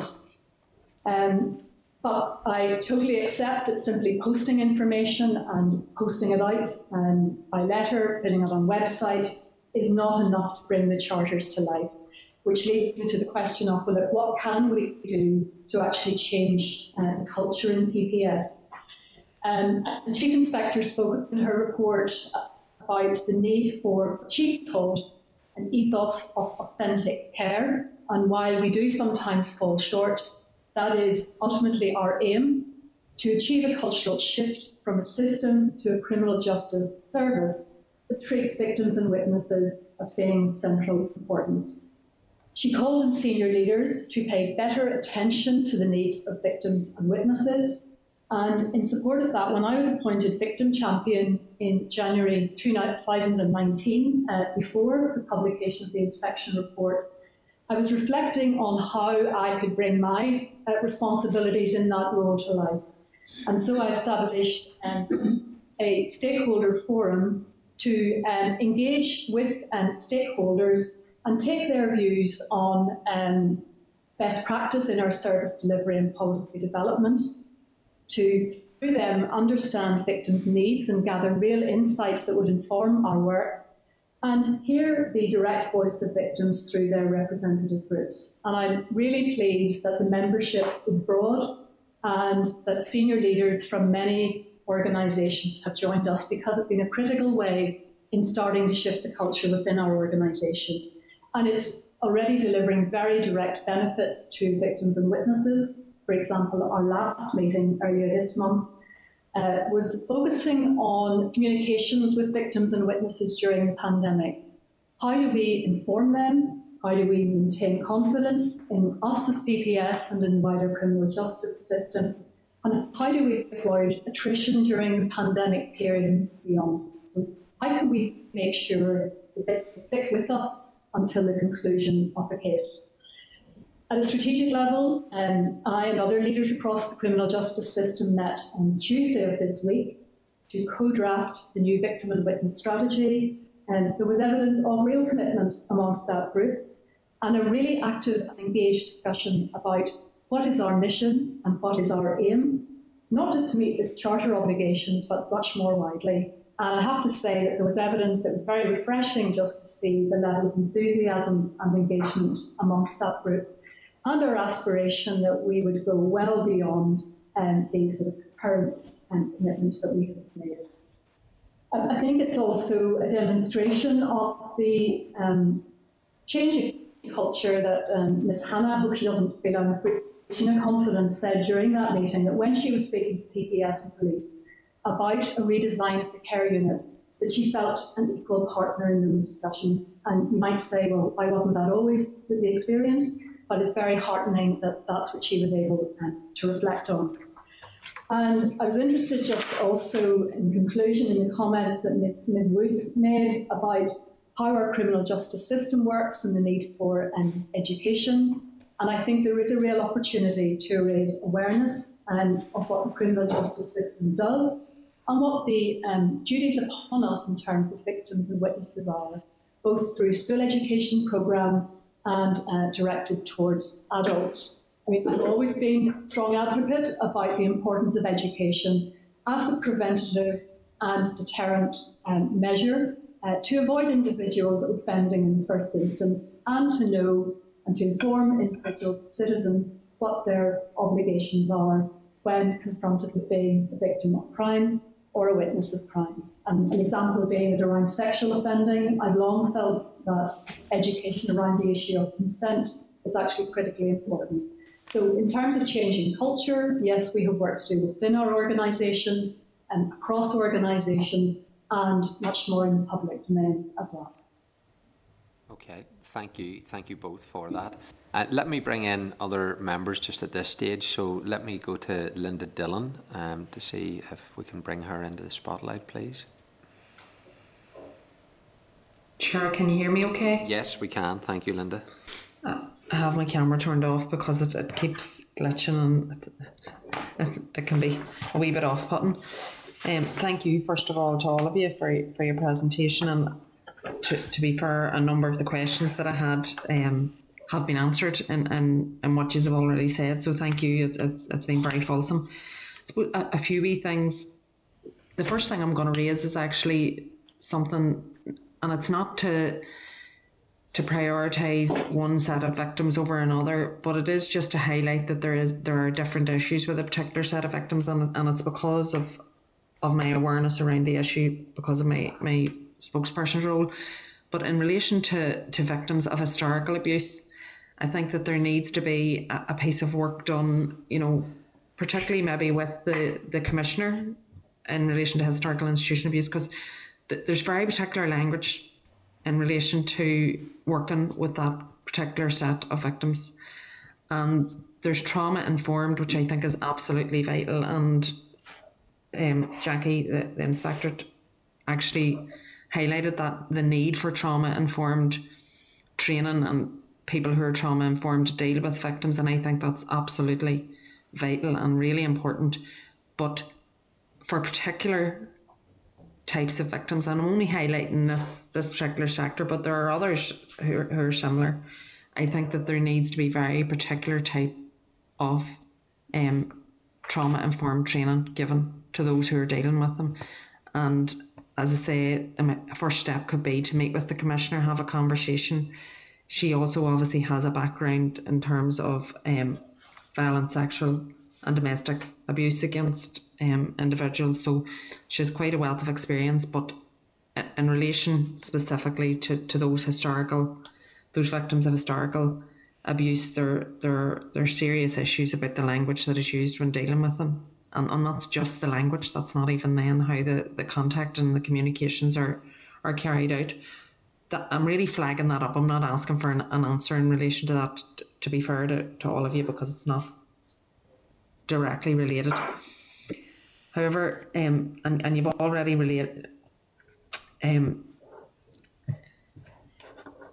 responded, I suppose, or already given, um, as I said, answered some of the questions around the victims commissioner. So I'm, I'm content that you've you've covered that. But just in relation to recommendation, the under operational recommendation three, um, around the initial review of victim support involvement in PSNI training and that the areas of improvement have been identified. I'm just wondering, and I suppose Gerry, this would be for yourself, for yourself and Mark.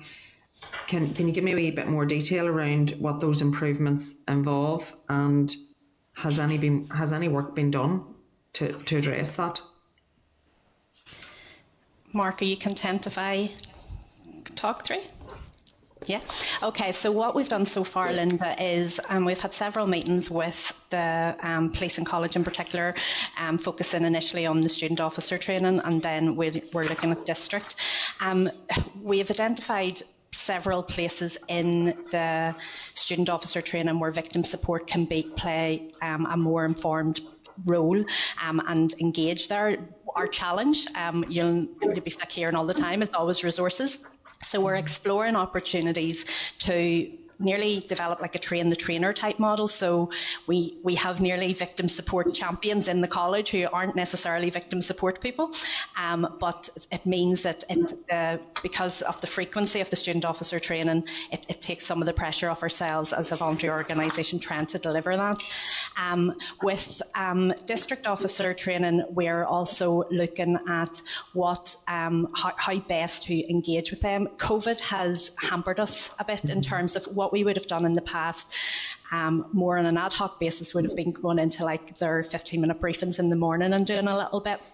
Um, but COVID has delayed us in terms of significant work in, in that regard. What I will say across both student and district, and Mark, you may want to add something, but the key thing from our perspective is our input into that training isn't about solely talking about this is what victim support is and this is what we do. It's around embedding victim care. Now, I'm not for any um, moment saying that police officers don't already consider this, but one of the um, pieces that has been really helpful in terms of this engagement is um, what we've been going through with the trainers in the in Garnerville is looking at the whole actual package of um, training that's delivered to officers and seeing how victim care and also the victim charter can be embedded throughout so that it's not just oh, we only think about victim support whenever that wee woman comes in on um, the third Tuesday of the course. Um, it's actually throughout. And I, one of the other benefits as well is having what I would call the champions, maybe not the role, the name, because it, it can be confused with our other victim champions, but nearly part of our extended victim support family who understand the whole victim care piece, the victim charter piece, and also what victim support do. Having them embedded in the police college means that it's officers hearing from fellow officers how important this is, what the charter obligations are. So it's not, um, I think sometimes it's better to hear from people who understand your role and the challenges you face in your role, um, as opposed to maybe Gerry from Victim Support coming in and saying the ideal, because my ideal as to what I would love them all to be doing, there'll never be capacity for officers to do with the best will in the world. So it's, it's trying to be ambitious but realistic about what we can achieve. And I think that that review, it's it's work in progress. Um, it's it's by no means finished. Okay, thank you, Gerry. Does does Mark want to come in on that? Uh, I think Gerry has summed it up pretty well, Chair. Um, but I think it is just that um, we're, we're, starting with, with that training, getting it rolled out across districts. Um, afterwards will be another challenge, but Gerry, I think, has outlined that. We're, we're up for that. Thank you, Mark, and, and thank you, Gerry, for that. And I'm actually really glad to hear that it's not just about one specific piece of training and that's it's embedded in, in every level because it is vital. Um, and I did highlight earlier, Mark, when I was speaking to the, the criminal justice inspectorate, that very often, regardless of who's to blame, the blame lands at the door of, of PSNI. So th- there is a, a, real piece of work to be done there in terms of, I, believe that this, you know, this this very important piece of work around engagement with victims and support for victims could make a real difference in, in confidence in policing in general. So that there's there's a big piece of work to be done, but everybody has to play their part because PSNI does get the blame whenever the judiciary doesn't do what victims wanted to do or the PPS don't do what victims wanted to do. So I think that that, that piece around victims understanding um, the process and at what point, you know, who is responsible for what and that it's not a case of that the police are responsible for gathering the evidence, making the charge, ensuring that it, it gets to court. Obviously, there's a part to play around evidence, but um, it is them for the PPS to look has it met the evidential threshold, and it is the judge who decides whether they get bail,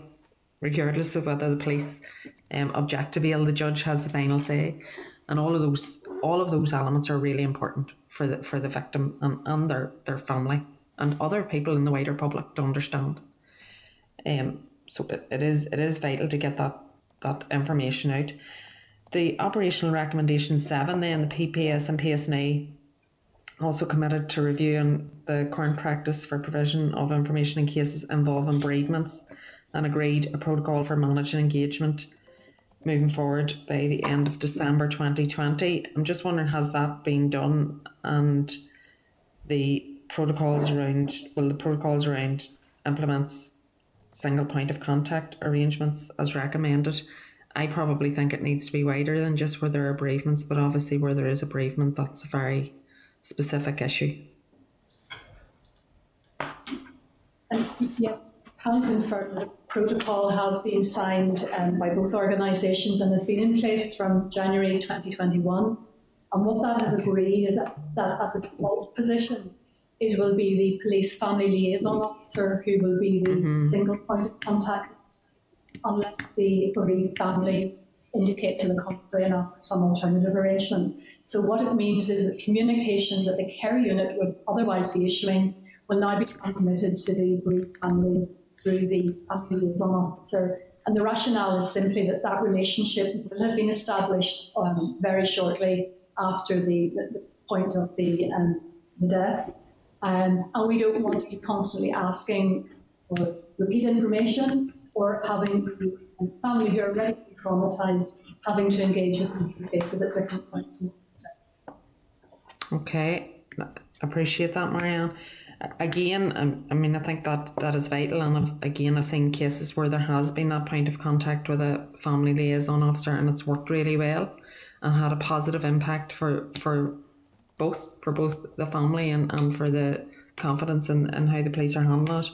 When it comes to the point where, where that is handed over to the PPS, is it still then the family liaison officer? Because again, that that creates that idea or notion that the police have still have the responsibility, and therefore, if PPS look at it and say, "Look, we can't, this hasn't met the threshold," and must the family liaison officer come back to deliver that information, that will the blame will be levelled at the PSNI?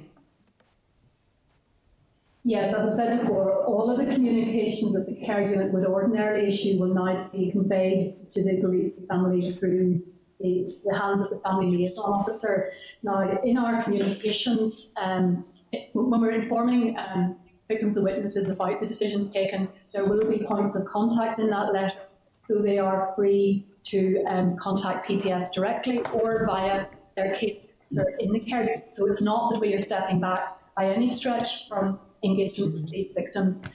In all circumstances, the assistant director, responsibility for the um, business area, will actually write a letter to the family within 10 days of the being received within um, PPS. And, and that uh, engagement will continue where we need to be speaking to families about matters specifically to the prosecution, decisions that we are taking, rather than the types of information our unit is updating. And so, for example, today, this morning, um, I was engaging in a case of a traffic fatality, and I was asking that the assistant director and the senior prosecutor engage directly with the family to convey certain information about decisions we are proposing to take. So we don't divest our responsibility um, either to care unit staff or indeed to police uh, liaison officers at that point. And I think certainly my experience of working with um, liaison officers is that it's a very collaborative relationship. Um, and if they feel that there's a necessity for a prosecutor to engage, then we are entirely happy to do so. I mean, Mr McEwan can comment further if he wishes on that. Yeah, no, no, no, thank you. I appreciate members' concerns, but I think in, in these cases, because of the really exceptionally difficult circumstances, because of the training and professionalism of our family liaison officers, I think it is the right thing that they are that conduit for information with the family um, in the interests of the family. Um, as Marianne has said, there is no um, divesting of responsibility from um, from the PPS, and, and, and, I think we, we accept that and recognise that. Um, it, it's actually in those broader, potentially not quite at that level of, of severity or seriousness. It's, it's the cases um, at, at, a lower level where uh, I think perhaps information gets confused about who's making a decision where and, and whether or not that, that blame or responsibility lies with, with various agencies. So I appreciate the members' concerns, but I think in this case we're content that, that um, this is the right way forward. I'm, I'm glad to hear that and appreciate that, Mark, and thank you, Marianne, to, to yourself as well. I, th- I think it does go back to that piece around people understanding the processes, you know, and, and that's fair enough. And even even the public understanding the processes. I'm going to ask one last question, Chair, if you'll give me a wee bit of leeway. It's I, I mentioned this to, to Jacqui also around the, the Barnahus model. Is are there any um, notions? This is probably more for the department, to be honest, that we would look at something not necessarily the Barnahus model, but something similar in relation to child victims and witnesses. Um, if, if I can answer you on that, um, I think there are a number of different work streams that are that are currently going ahead under under the Gillen uh, program that that all feed into that uh, that Barnahus model. And at the minute, we're looking at the, the kind of procedural bits. So um, so within PSNI, for example, there's a review of ABE. Um, the department has been taking forward a program to develop remote evidence centres. Um, you'll be aware as well that of the, the, the judge-led protocol to expedite. Mm-hmm uh, cases involving children, and the minister has uh, very recently agreed to, to bring that um, uh, to, to bring that protocol under the remit of, of the Gillen uh, programme as well. So there are all of these um, different elements that are progressing. Um, the idea is that they do ultimately merge together under a, a, a kind of Barnahus One House model. Um, we haven't got to that stage yet, but we're beginning to look at at, at what that might uh, what that might look like. But at the minute, we we've been progressing those justice elements uh, with various um, leads. The work that we're going to be doing around the protocol is is going to, in the first instance, uh, focus on. Uh, ensuring that, that that protocol can be extended beyond, I mean, currently it, it mm-hmm. applies to Belfast, so it's about looking at extending it uh, time-wise. Uh, so it's been extended until September, but it's, it's, it's looking at making sure that the resources are in place to extend that beyond the, the point of September, but also beyond Belfast. So, so our first priority really is going to be looking at that, those kind of resource implications, looking at the impact of, of that, uh, and any policy implications around that, and then developing the business case to support ongoing uh, extension. Um, but the idea is that, that all of those different uh, work streams will come together at, at, some point to under uh, a kind of one house model. Obviously, um, Barnahus is not just the justice elements, there, there are also therapeutic and health uh, uh, elements to that. And uh, and that's something that we, we will be uh, picking up again with the health department. The minister has written to the health minister and, and is going to um, be, be meeting with him and wants to discuss around health involvement in this model. Um, up until this point, that they they haven't been in a position to, uh, to, to fully engage simply because of, of all of the other pressures and priorities that they're they're dealing with at this stage.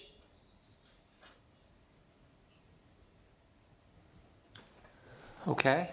Okay, Linda. Linda's dropped out. Okay, thank you. Um, can I bring in Doug Beattie?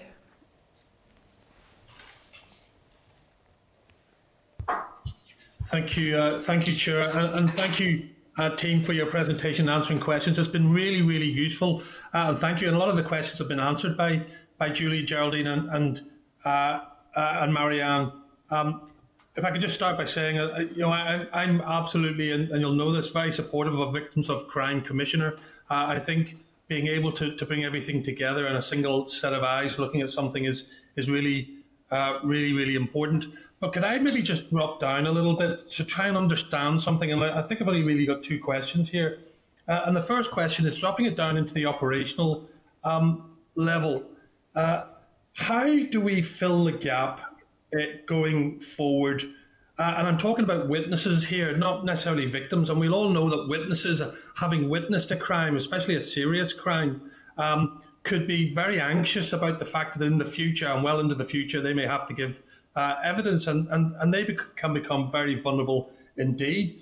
So, how do we fill that gap um, when a witness has been identified to the stage where they're going to be told that they are going to be required to give evidence? Because I'm looking at the PSNI um, uh, Victims of Witnesses Care Unit piece online here, and it says that, that, that if you're a witness, uh, we will tell you if you will be required to give evidence. But how do we fill that gap between the crime and being told you're going to give evidence, which could be a year or maybe longer?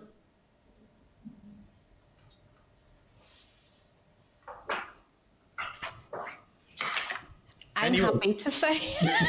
I'm happy to say how I think we should be filling it. No, well, um, Doug, if I can, if I, can, if I can just ask, if Julie, because if the department, because I appreciate with five witnesses here, and it's very difficult to assign particular questions. So if Julie can be the main point, um, and then if there's other people that Julie needs to decide to reference in, if we can do it that way. Otherwise, it's going to be difficult to manage this in a structured fashion. But it is for the department to take the lead in this in the first instance. So, Julie, if you can pick up on that, and if you need to, to defer it to others, I'll let you do that.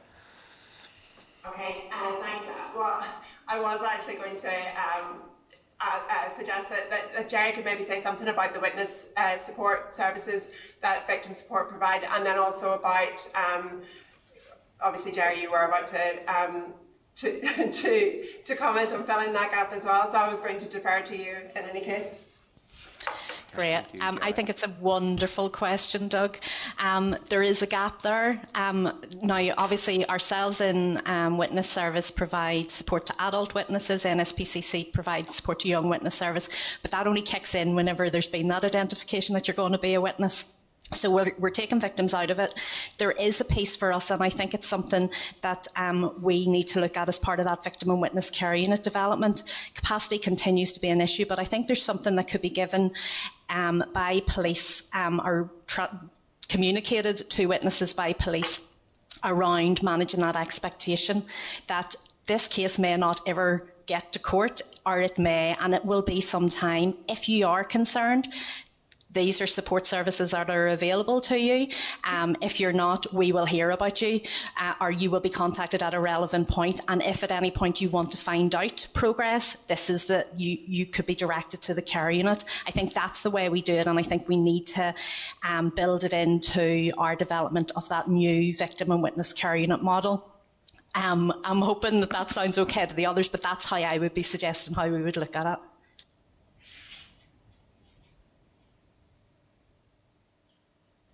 Yes, I, I, mean, I'm happy with that, Geraldine. I don't know if anybody else wants to, to, to, to add to that, but it, it, it, it is a genuine problem, and that's why I raised it. And I'll give you an example of why it's a, a, a genuine problem, just to, to try and hone it down. So I know somebody um, uh, who witnessed the kidnapping, witnessed a kidnapping, um, went to the police station, gave their um, statement, uh, had a needs assessment, uh, and they've heard nothing since. Uh, the kidnapping happened very close to her home. Uh, the person was known to her, but has had nothing uh, as a follow up to that whatsoever. And that's over a year ago. So you can see the gap that I'm talking about. Now, that witness is very anxious and has been anxious, and there's not a great signpost. There's nothing proactively signposting them out. So I, I guess it is a it is a gap. I think Geraldine's right that she's identified it as a gap, but it certainly needs to be something uh, that's put in there. But can I add, because I don't want to take up too much time, because I, I mean, that's a fair answer from Geraldine. but but we, and I can't remember who said this by the way, but somebody says that we're talking about going from a workload of about something like twenty thousand witnesses and victims to about eighty thousand victims and and witnesses. Um, and I'm concerned about the resource bill for that. not saying there shouldn't be, uh, you know, more resource for that, but with the police um, having a cut and, and, and, you know, in desperate times and losing officers at this moment in time, have we thought about what that resource is going to look like? How many people will be dedicated to the victims and witness uh, care unit from both the PPS uh, and from the PSNI and, and other agencies? I mean, I, again, I think I'm going to defer to Geraldine, but that the, the piece of work to look at what those what the options for the model are that's ongoing at the minute and and that options appraisal will will drill down into the resource implications um, uh, so uh, so I'm, I haven't had sight of what those resource implications uh, are yet. I'm, I'm not sure that they've fully been worked out, but Geraldine, you would be a bit more over the detail than me if you want to come in. Yeah, the numbers are quite scary, Doug, um, particularly whenever the recommendation talks about victim support doing the needs assessment piece. So I start to get a little bit nervous at this point. Um, what is clear though, and, and, this is, it goes back to probably what Jacqui said, you know, at the outset of all of this around an ambitious plan and now is the time to do it and we need to find the money. You know we, we can't really wait any longer. What we're talking about here is that 80,000 is the reported crime levels. So at the moment victim support deal with from well from April to January of this April last year to January of this year we had 38,000 referrals to victim support. Now similar ideas kind of reads across into what this needs assessment service would be within the care unit. Of say if it was this 80,000, not all of those would get a phone call. Some of them would get an email um, or a letter, which would give them certain information and ask them to come back with a more detailed needs assessment. What we need to start to break down is how not every person is going to come back and say they want it. Also, even before that, not every one of those 80,000 will say they want, they want to be contacted for a needs assessment. So we will triage that 80,000 or whatever the the number is into phone calls versus letter versus email. As the person trans or moves through the system, you're going to get less and less people coming. Um, so you, obviously, not every case, like 30%, aren't there isn't a decision to prosecute. So those those sort of cases, well, those numbers will dwindle as they go through. But none of that takes away from the fact is there will be a significant resources. It's more likely to be on the victim support needs assessment side piece, but there will be a read across in terms of how the management of that team works, how the management of the unit works. Um, but we are hoping that in the probably in the next two months we should have a clearer or um, determination as to what those numbers um, are looking like, and that will be the preferred option in the options paper that's to go to the Criminal Justice Board. But resourcing, you know, I, I, am pleased the chair picked it up as his first question to, to Jacqui. It is an issue, um, and it's something that we need to consider, not just, I suppose, within Departments and Justice Committee, but government as a whole. There's only a certain amount of money, and where are we prioritising it? Geraldine, thank you. Marianne and, and Mark, I mean, have you modelled what that will have at an operational level for yourselves for, for to provide staff, just staff for that for that model? Um, I think, Mr. Beattie, I'll, I'll, just sort of give you a holding response. The, the, work is very much active at the minute and it's at a very early stage. So what, what we're talking about today is just very much, I suppose, a high point, an end, a full end-to-end option. And there are a lot of questions below that. So we have to ask, well, what is the point of need? And is it at the point of report to police for every victim? What's the actual level of need once they make that report?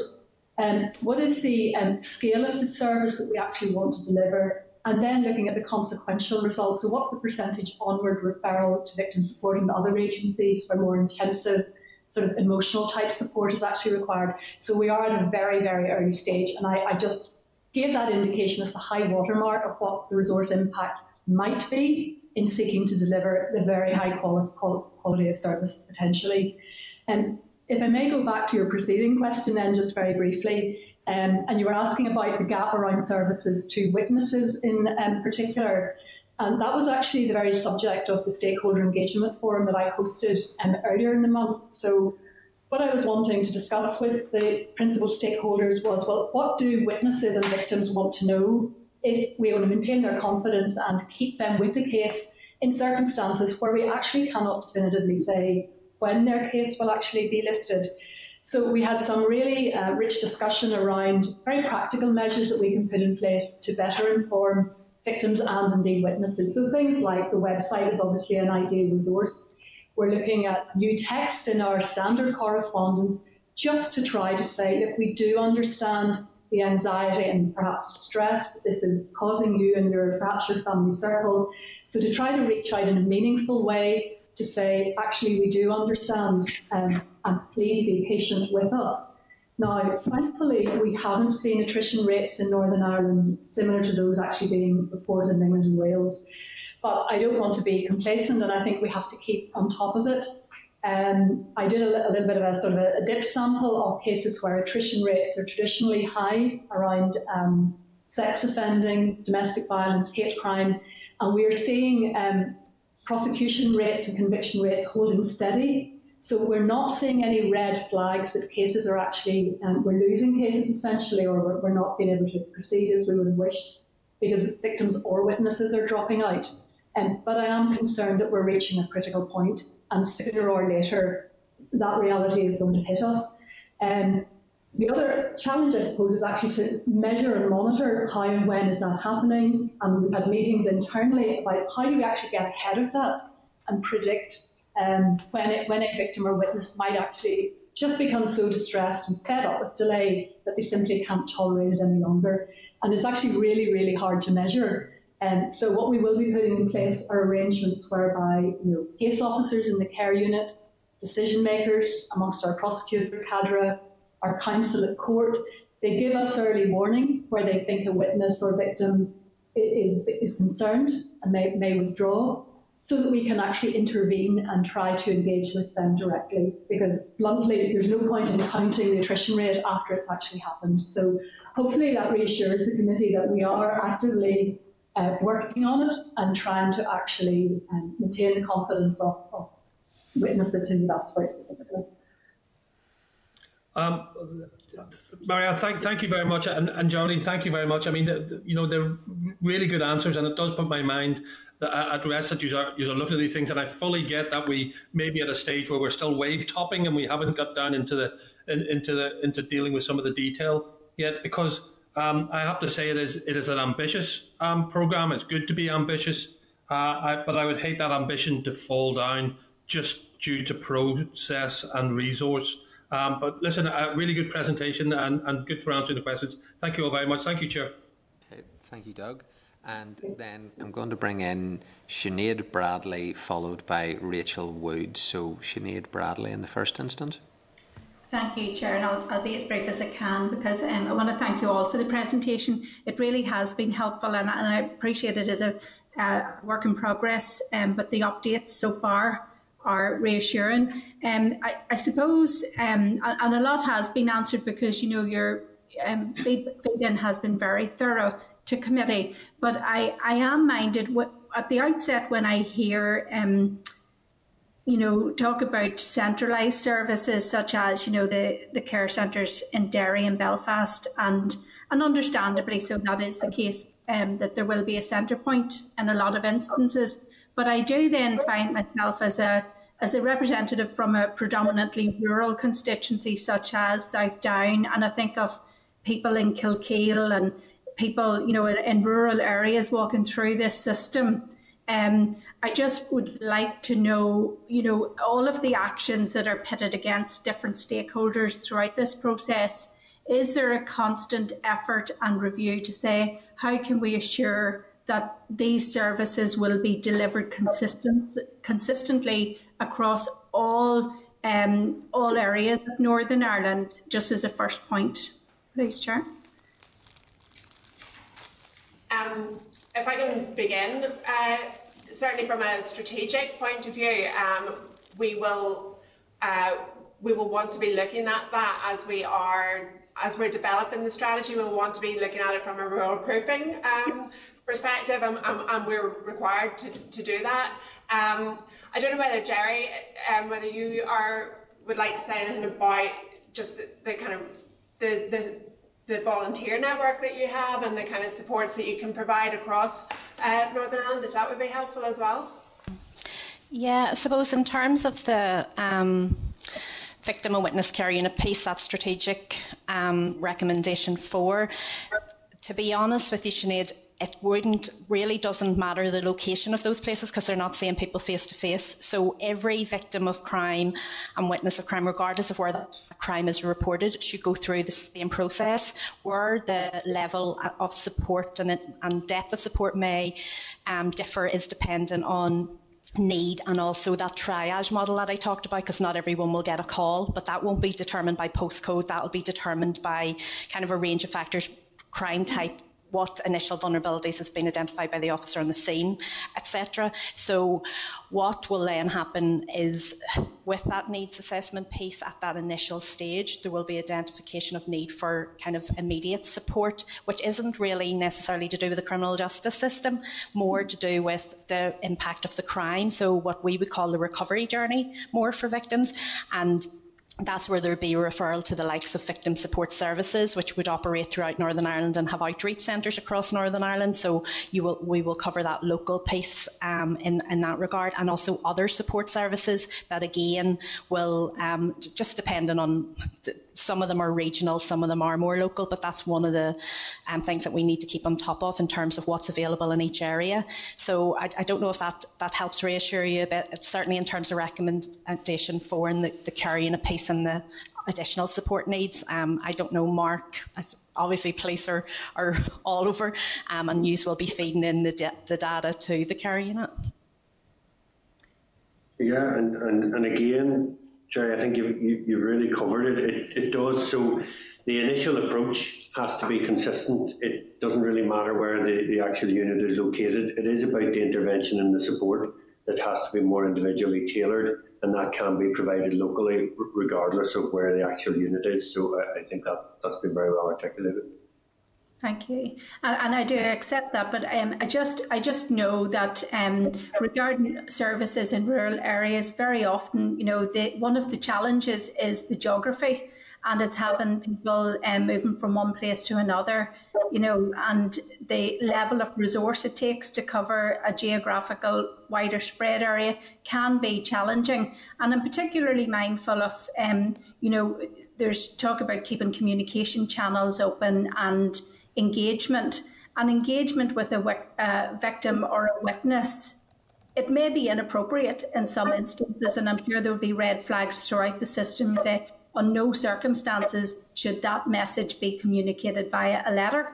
That does warrant um, a personable one to one level of communication. And I'm just conscious in rural areas that that, that can be challenging. And um, I would just be, I suppose I would just like to inject at this point that that level of awareness or thinking is considered through the options and through any thread of thought um, that might form the final piece because I, I too often say that um, it's when it, it reaches rollout that you find that the, the rural element hasn't been fully understood um, and the challenges that come with that.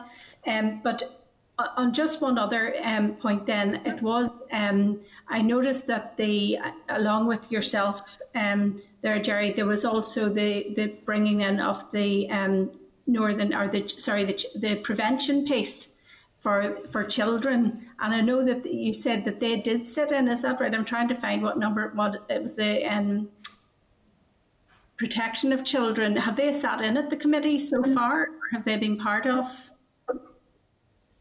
Part of uh, the? Um, are you talking about the, the steering group, the victim and yes. steering group?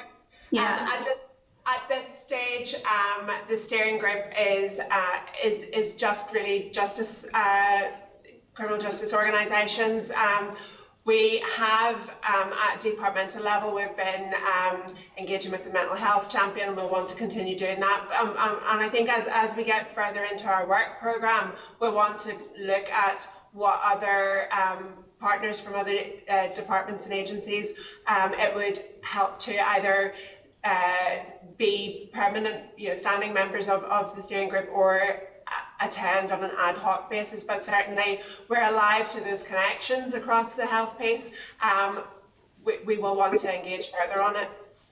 Okay, because I, I thought that was a very good piece, but I also did wonder, um, and certainly some of the experience I've had of people coming through a constituency level, some um, of those vulnerabilities can include um, the language barrier that exists, you know, um, from growing populations or diverse population, you know, so we often think of disability quickly and, and the likes of NSPCC who, who was struggling to find that because I, I did say it was September, I think was the the ambition for that.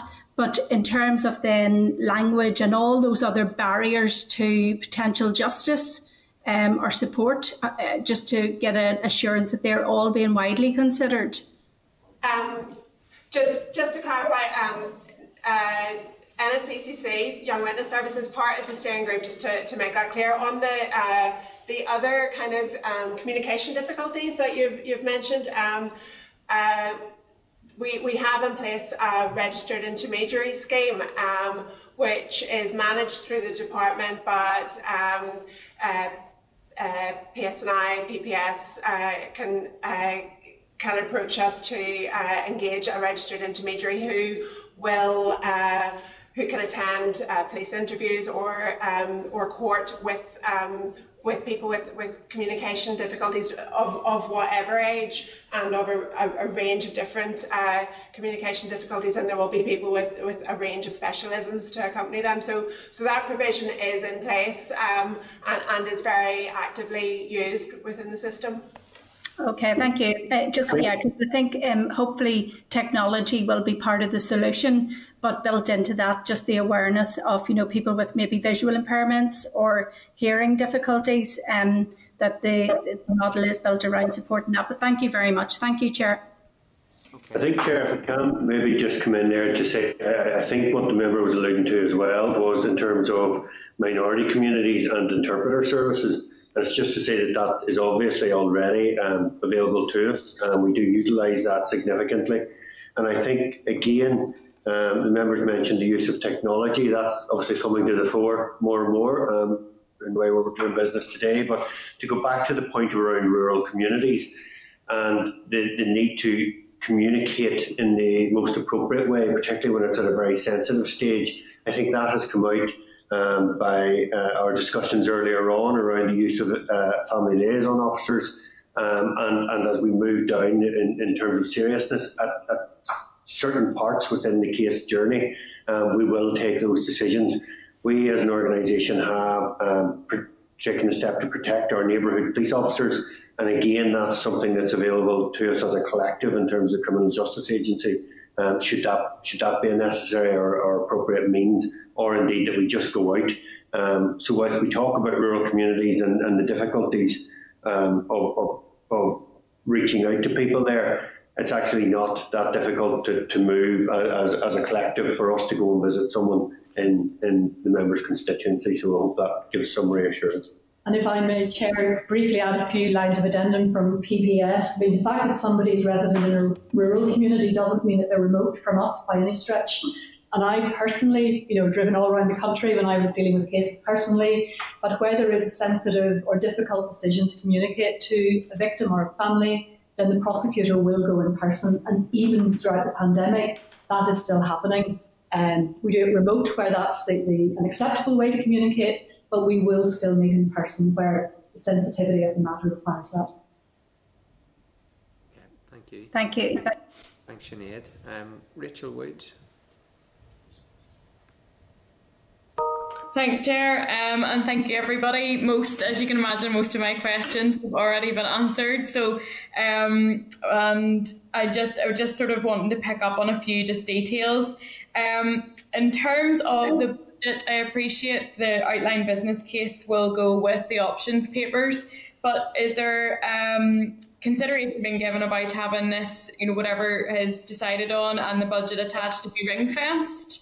Um, and obviously, we were talking earlier on, there was mention of 80,000. Not obviously, not every victim or witness of crime will support um, um, or require it. Um, but it was certainly um, happy to see um, a variety of options there, and um, would hopefully it would be the most ambitious, but uh, the most ambitious may be the most costly. Um, but certainly would like to know if there was any consideration of ring fence in that budget, just to make sure those services continue. Um, again, I'm going to uh, defer to, to, to, Gerry again on the detail, but my, my sense is that, that we're not at that stage yet where, where we can, where um, because the full resource implications haven't been identified, then the model hasn't been identified, and that's something that we would come to in the round and look at. Gerry, do you want to add anything?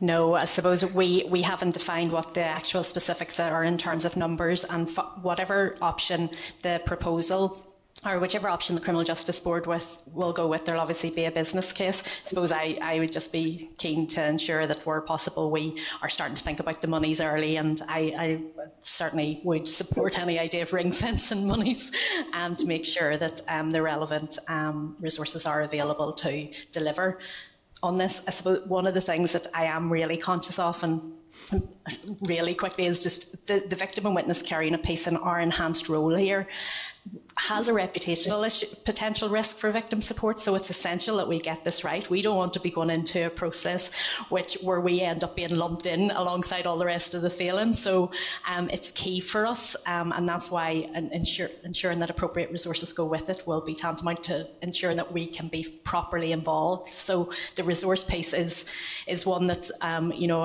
um, members probably won't be surprised that I'm concerned about and obviously that the agencies will will need to ensure that um, the relevant um, resources are there in order to have the capacity we need. Definitely, Gerry. Thank you um, for that.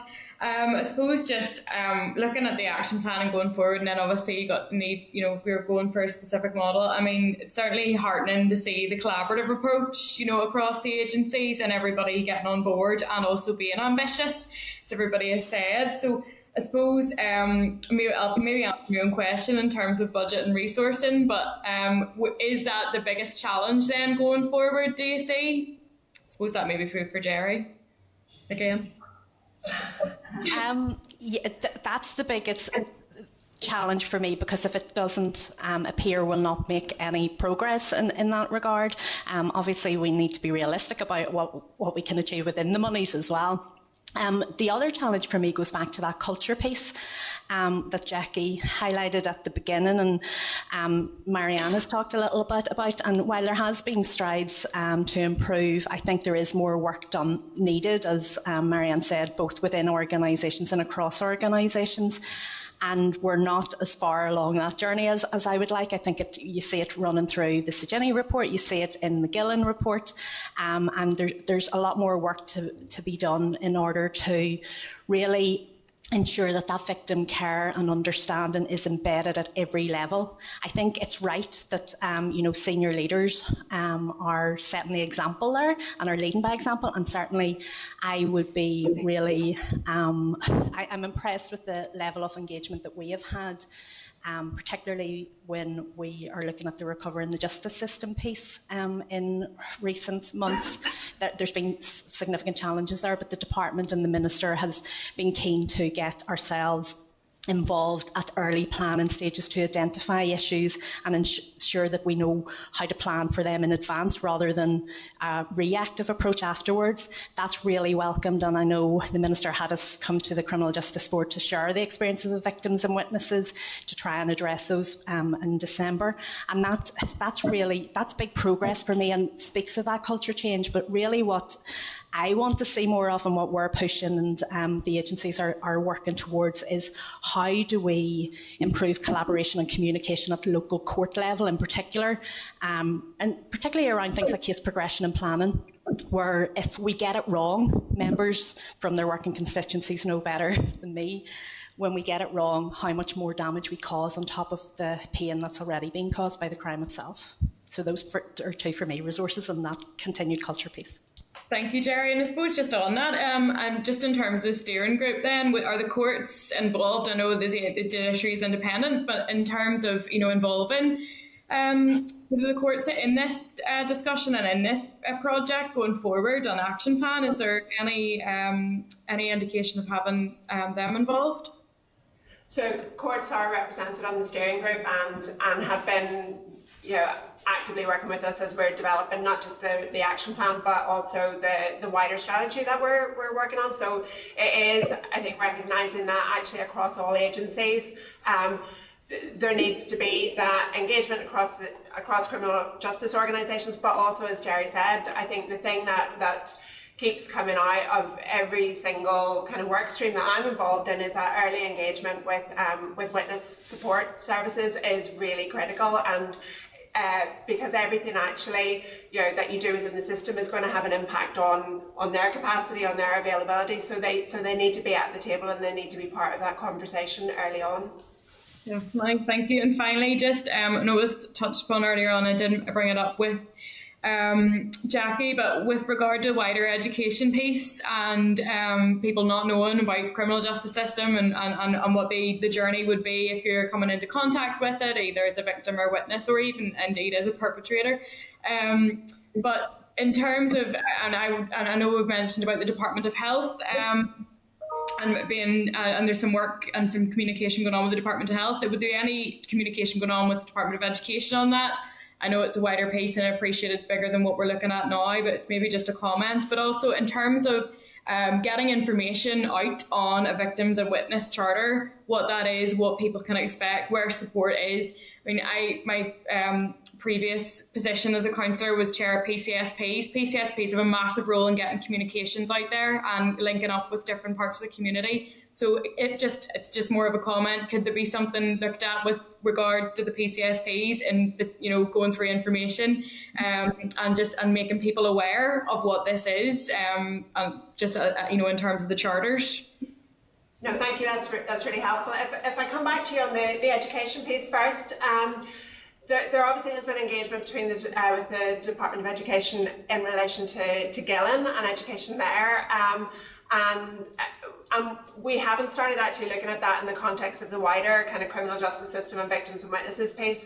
Um, I mentioned in my opening remarks that um, that uh, and actually it's, it's one of the recommendations around as strategic communications to raise to raise awareness of the charters and I think that has to be one of our priorities um, and our first priority and kind of looking at, at strategic comms. I think on the charters uh, in, in more more widely than just stratcoms. Um, I think there are a number of different issues, and um, I think public awareness is one of them. If you don't know that they're there, or if, if, if it hasn't, you know, maybe you've been told, but it hasn't really sunk in that they're there and what they mean. I think um, that that's obviously something that, that we that we want to address. That's concerning. That that whenever you look at the the NIBOS. Uh, uh, responses that you know the, the low awareness of the charter so we are going to be developing a strategic communications plan to address those. Um, we are setting up a, a, a Stratcoms group to look at that. I don't think it's just a matter of Stratcoms. I think we also need to look at how accessible they are. You know, so and we have made them available in a range of, of languages. We've made them available in a range of formats, but I think we'll want to consider that further with um, uh, with partners. Um, there's also, and I think this is the cultural piece, um, the question of, of how meaningful they are within organisations. And, and the report, the Jenny report itself, um, noted frustrations uh, that, that officers felt that, you know, that, that actually, you know, the focus needs to be on uh, meaningful engagement and support for victims rather than a kind of tick box exercise. And I think, you know, we've, we've talked about the, you know, um, you know, the role of the leaders in that. I think it's a, there's lots of layers to how how you uh, address that. The training that uh, PSNI and victim support are going to be doing that that's part of it. I think it's um, what Gerry said earlier about it's not just when your woman from victim support turns up, but actually how do you make it meaningful on a day to day basis. Yeah. Um, and, and I think that's a piece of work that that that isn't going to be completed overnight. It has to be an ongoing piece of work. I think there's also issues around uh, compliance and consistent delivery, and, and again, we'll want to look at that about what happens whenever entitlements aren't delivered and uh, the redress for victims and witnesses in that. Um, um, and, and I think uh, there's probably a role for um, the witness services, uh, support services in supporting victims where they want to make a complaint Uh, and we'll also want to consider, uh, like I said earlier, the role of the Victims of Crime Commissioner uh, once one is appointed and how what role they would have in overseeing um, effective delivery of charters. Um, I don't know if anybody else wants to come in on that. No, okay. Rachel, is there any more points you just want to bring up? No, I'm all good. Great, thank you, Rachel. Um, Linda Dillon just wanted to come back in very briefly and then we're going to move on, members. Sure, the point that I wanted to come back in has been covered, so thank you. I just want to, I got cut off earlier on. I don't know if you did that on purpose, Chair. no. But just, I'm only joking. Just to, just to thank you all for, for coming in and, and answering our questions. It was certainly very informative, so thank you very much. It's covered. Thank you, Chair. Great. Well, listen, that'll, that, I'll echo the, the Deputy Chair's comments about thanking you for coming in. It's very much appreciated and we'll follow up in due course, so thank you. Okay, members, um, moving on. Um, obviously, we've covered item six. Um, and, and, sorry, just to, to tidy that evidence sessions up, we will get a briefing. We'll ask for an update in terms of uh, their action plan and the delivery upon that for six months from now. Um, and we'll seek to get that information on the back of this to keep a watching brief on what progress is being made. Um, item six was dealt with. Item seven is the criminal justice uh, Committal Reform Bill report. So it's pages 293 to 304 at our meeting on the 14th of January. The committee agreed to refer the Criminal Justice Bill to the Examiner of Statutory Rules and request a report highlighting any delegated powers to which she wished to draw attention. In particular, the committee requested views on whether it is appropriate for each of the powers to be left to subordinate legislation rather than including them in the bill itself and whether the choice of assembly procedure for each is the most appropriate. So the examiner has provided her report to the committee and has indicated that she is satisfied that the rulemaking powers presently provided for in the bill are appropriate and each is subject to the appropriate level of scrutiny by the Assembly. So members are, are asked to note the advice of the Examiner of Statutory Rules on the delegated powers within this bill. Um, and in terms of then just to advise members that written submissions and oral evidence received by the committee on the committal reform bill have suggested that the abolition of committal hearings in other jurisdictions has not uh, demonstrated reduced delays in their criminal justice systems, but instead has shifted delays to the higher court. Uh, conversely, evidence has also been received advising that a bill is to be introduced in the Republic of Ireland to provide for preliminary trial hearings similar to committal hearings which aim to reduce delays and increase efficiency in the, committal, in the criminal trial process in that jurisdiction. Reference has also been made to the statutory custody time limits and statutory case time limits in place in other jurisdictions and has been suggested that the introduction of these in Northern Ireland could assist in reducing delays in the criminal justice system. So on that area, uh, uh, in terms of those points that have been raised, um, if members uh, just to inform you that to assist consideration of the bill, two research papers have been commissioned covering the position in other jurisdictions in these areas and the impact or effectiveness of the different approaches being adopted. So members, if you're content, we will commission the research papers that are detailed in the clerk's memo in respect of that issue. Just going back then on the, the point raised earlier around the examiner for statutory rules, I think, Linda, you wanted just to come in on that. Sorry, Chair, no, it's not on that. I'm, I'm content with that. Just just to add to the two pieces of research, um, Chair, I know that when we met with the Lord Chief Justice, we had asked for a view around the committal reform bill, and he obviously won't be coming before the committee until after the, the committee stage of this has ended. So we, we had had a conversation, and I think that if the committee are agreeable, we should write to the Lord Chief Justice and ask for for his view in relation to the committal reform bill. Yeah, yeah. No, that that's that's that's that's being action from last week's okay. meeting, Linda. Last so, week, I I, yeah. I, actually thought that, but I, I wasn't one hundred percent certain. No. So apologies. No, no, it's fine. Better better to better Thank to keep you. me on my toes. Thank you. Okay, members, then the, the next item is the item 8, the Northern Ireland Audit Office report on injury on duty schemes for police and prisons. So it's pages 306 to 344. The Department has provided an update on the progress that has been made in taking forward the recommendations that were contained in the Audit Office report in respect of these issues. Um, the, the a two-phase approach is being implemented, with phase one tackling urgent, some urgent legislative issues identified by the Audit Office, and phase two covering a thorough examination of the other issues in the report. The briefing paper sets out the key elements being considered, and according to the department, although COVID uh, and remote working has led to some initial delays. Work is generally uh, well underway in addressing the recommendations of the report. The Department intends to keep the committee updated as work progresses and will brief the committee on any changes proposed to the current scheme and the committee's approval will then be sought in respect of proceeding to a stakeholder consultation. So if members are content um, in terms of noting this progress uh, to date in terms of implementing the recommendations of the Audit Office report on the injury on duty scheme for police officers.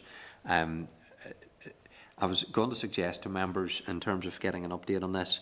I know the policing board do have an interest in this area, um, and I think it would be worth getting um, a response from the policing board in respect of their view of how the department's taking it forward. I'm alert to an issue around how ill health retirement schemes are being handled, and there, I think there are some issues there that um, I would just like to get a take from the policing board in respect of, of that issue, which seems to connect with the audit office report.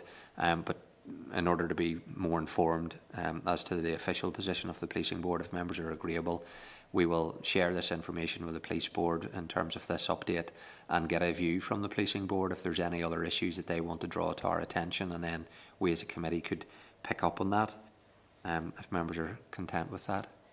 Um, Linda, Linda Dillon, if I can bring you in. Sure, yeah, you, you've actually picked up on the point that that I would have had a bit of concern around, and that's the fact that the ill health retirement is intrinsically linked to the injury on duty. You could effectively have a police officer have gone through two different processes, one with the PSNI, one with the um, and board of the department, and it, it doesn't make sense. And I was just wondering maybe if we would, well, I mean, maybe the first step is to write to the the policing board. Actually, I, I was going to suggest we write to the department and ask for the considering, you know, bo- both being taken on by the PSNI, but if I think that maybe write to the policing board is a good first step. So I'm content that that's how we do it. Okay. Okay, members. Well, Thank you, Chair. We'll, we'll proceed on that basis. Um, Item 9 is then proposals to amend legislation governing retention of DNA fingerprints in Northern Ireland and the responses from the Department and to issues raised by the Human Rights Commission. So at our meeting on the 15th of October, the Department uh, provided oral evidence to the Committee on the outcome of the public consultation on proposals to amend the law governing retention of DNA and fingerprints. Following that meeting, Committee agreed that we would request views from the Northern Ireland Human Rights Commission on the Department's proposed way forward.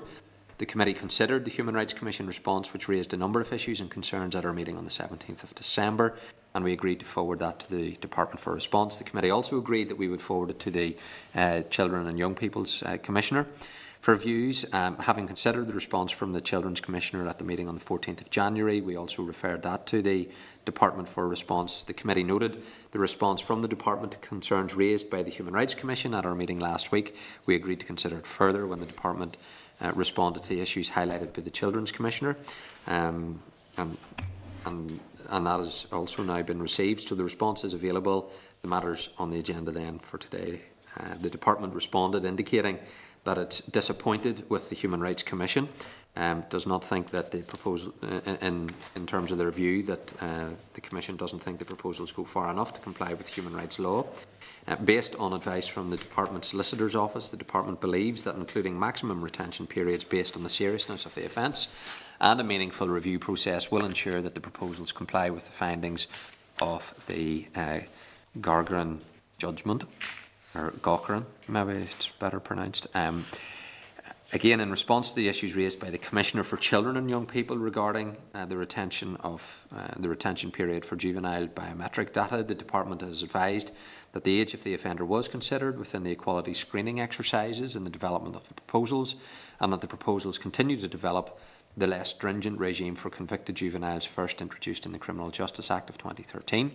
It also states that scope for affording further mitigation for young people within the policy is limited particularly with the need to balance respect for victims and public protection.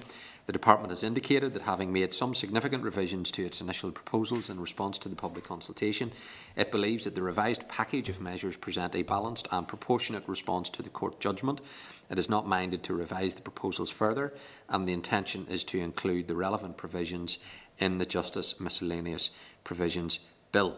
So, members, that information is, is obviously there um, by way of the department's responses. I'm, I'm open to, to receive some feedback. Um, Sinead Bradley, if I can bring you in.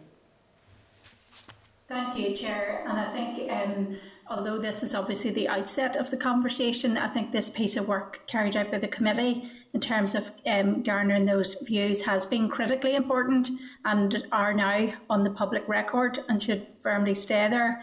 Um, but I, I'm just conscious that realistically, how much of this is going to really come in front of this committee um, in terms of having any scrutiny role over it.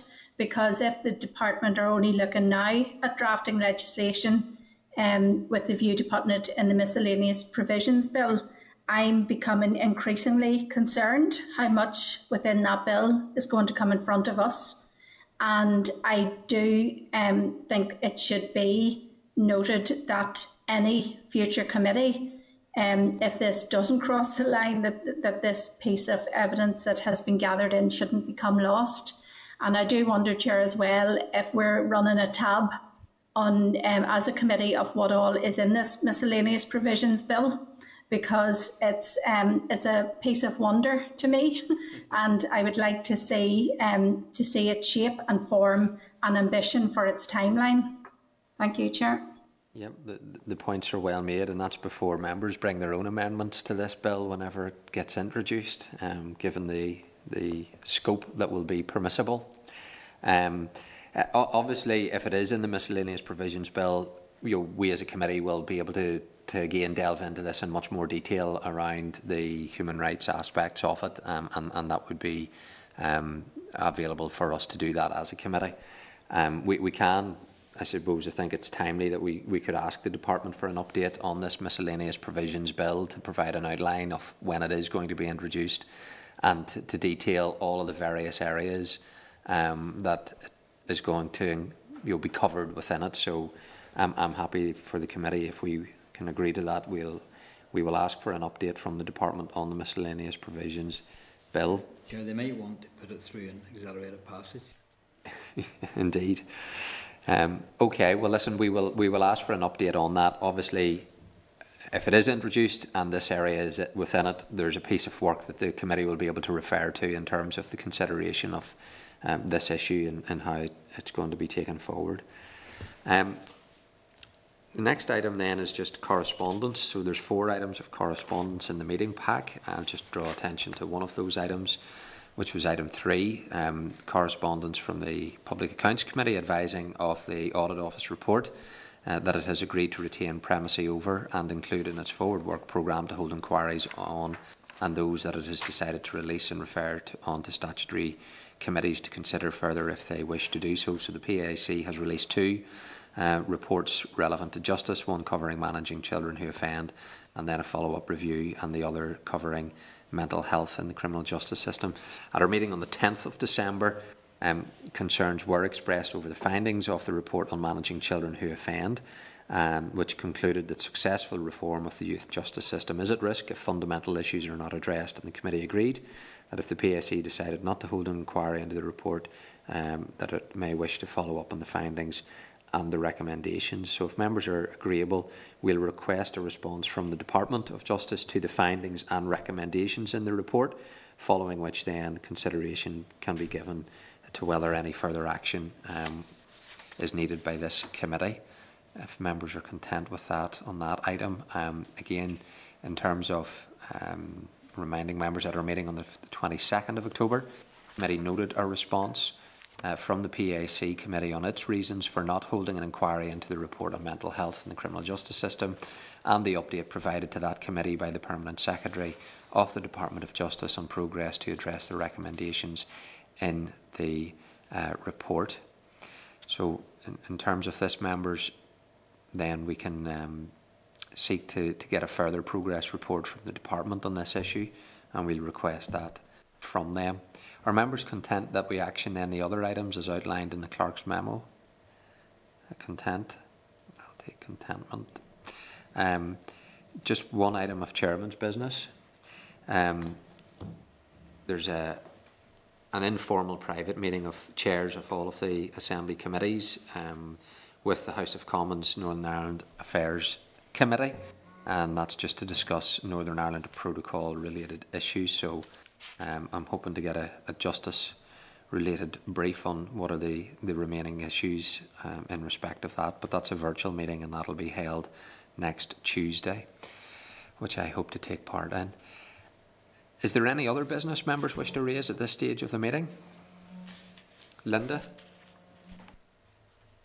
Chair, um, I just noted that the panel in relation to the victims' payments, uh, um, the disablement payments of the Troubles victims has been appointed.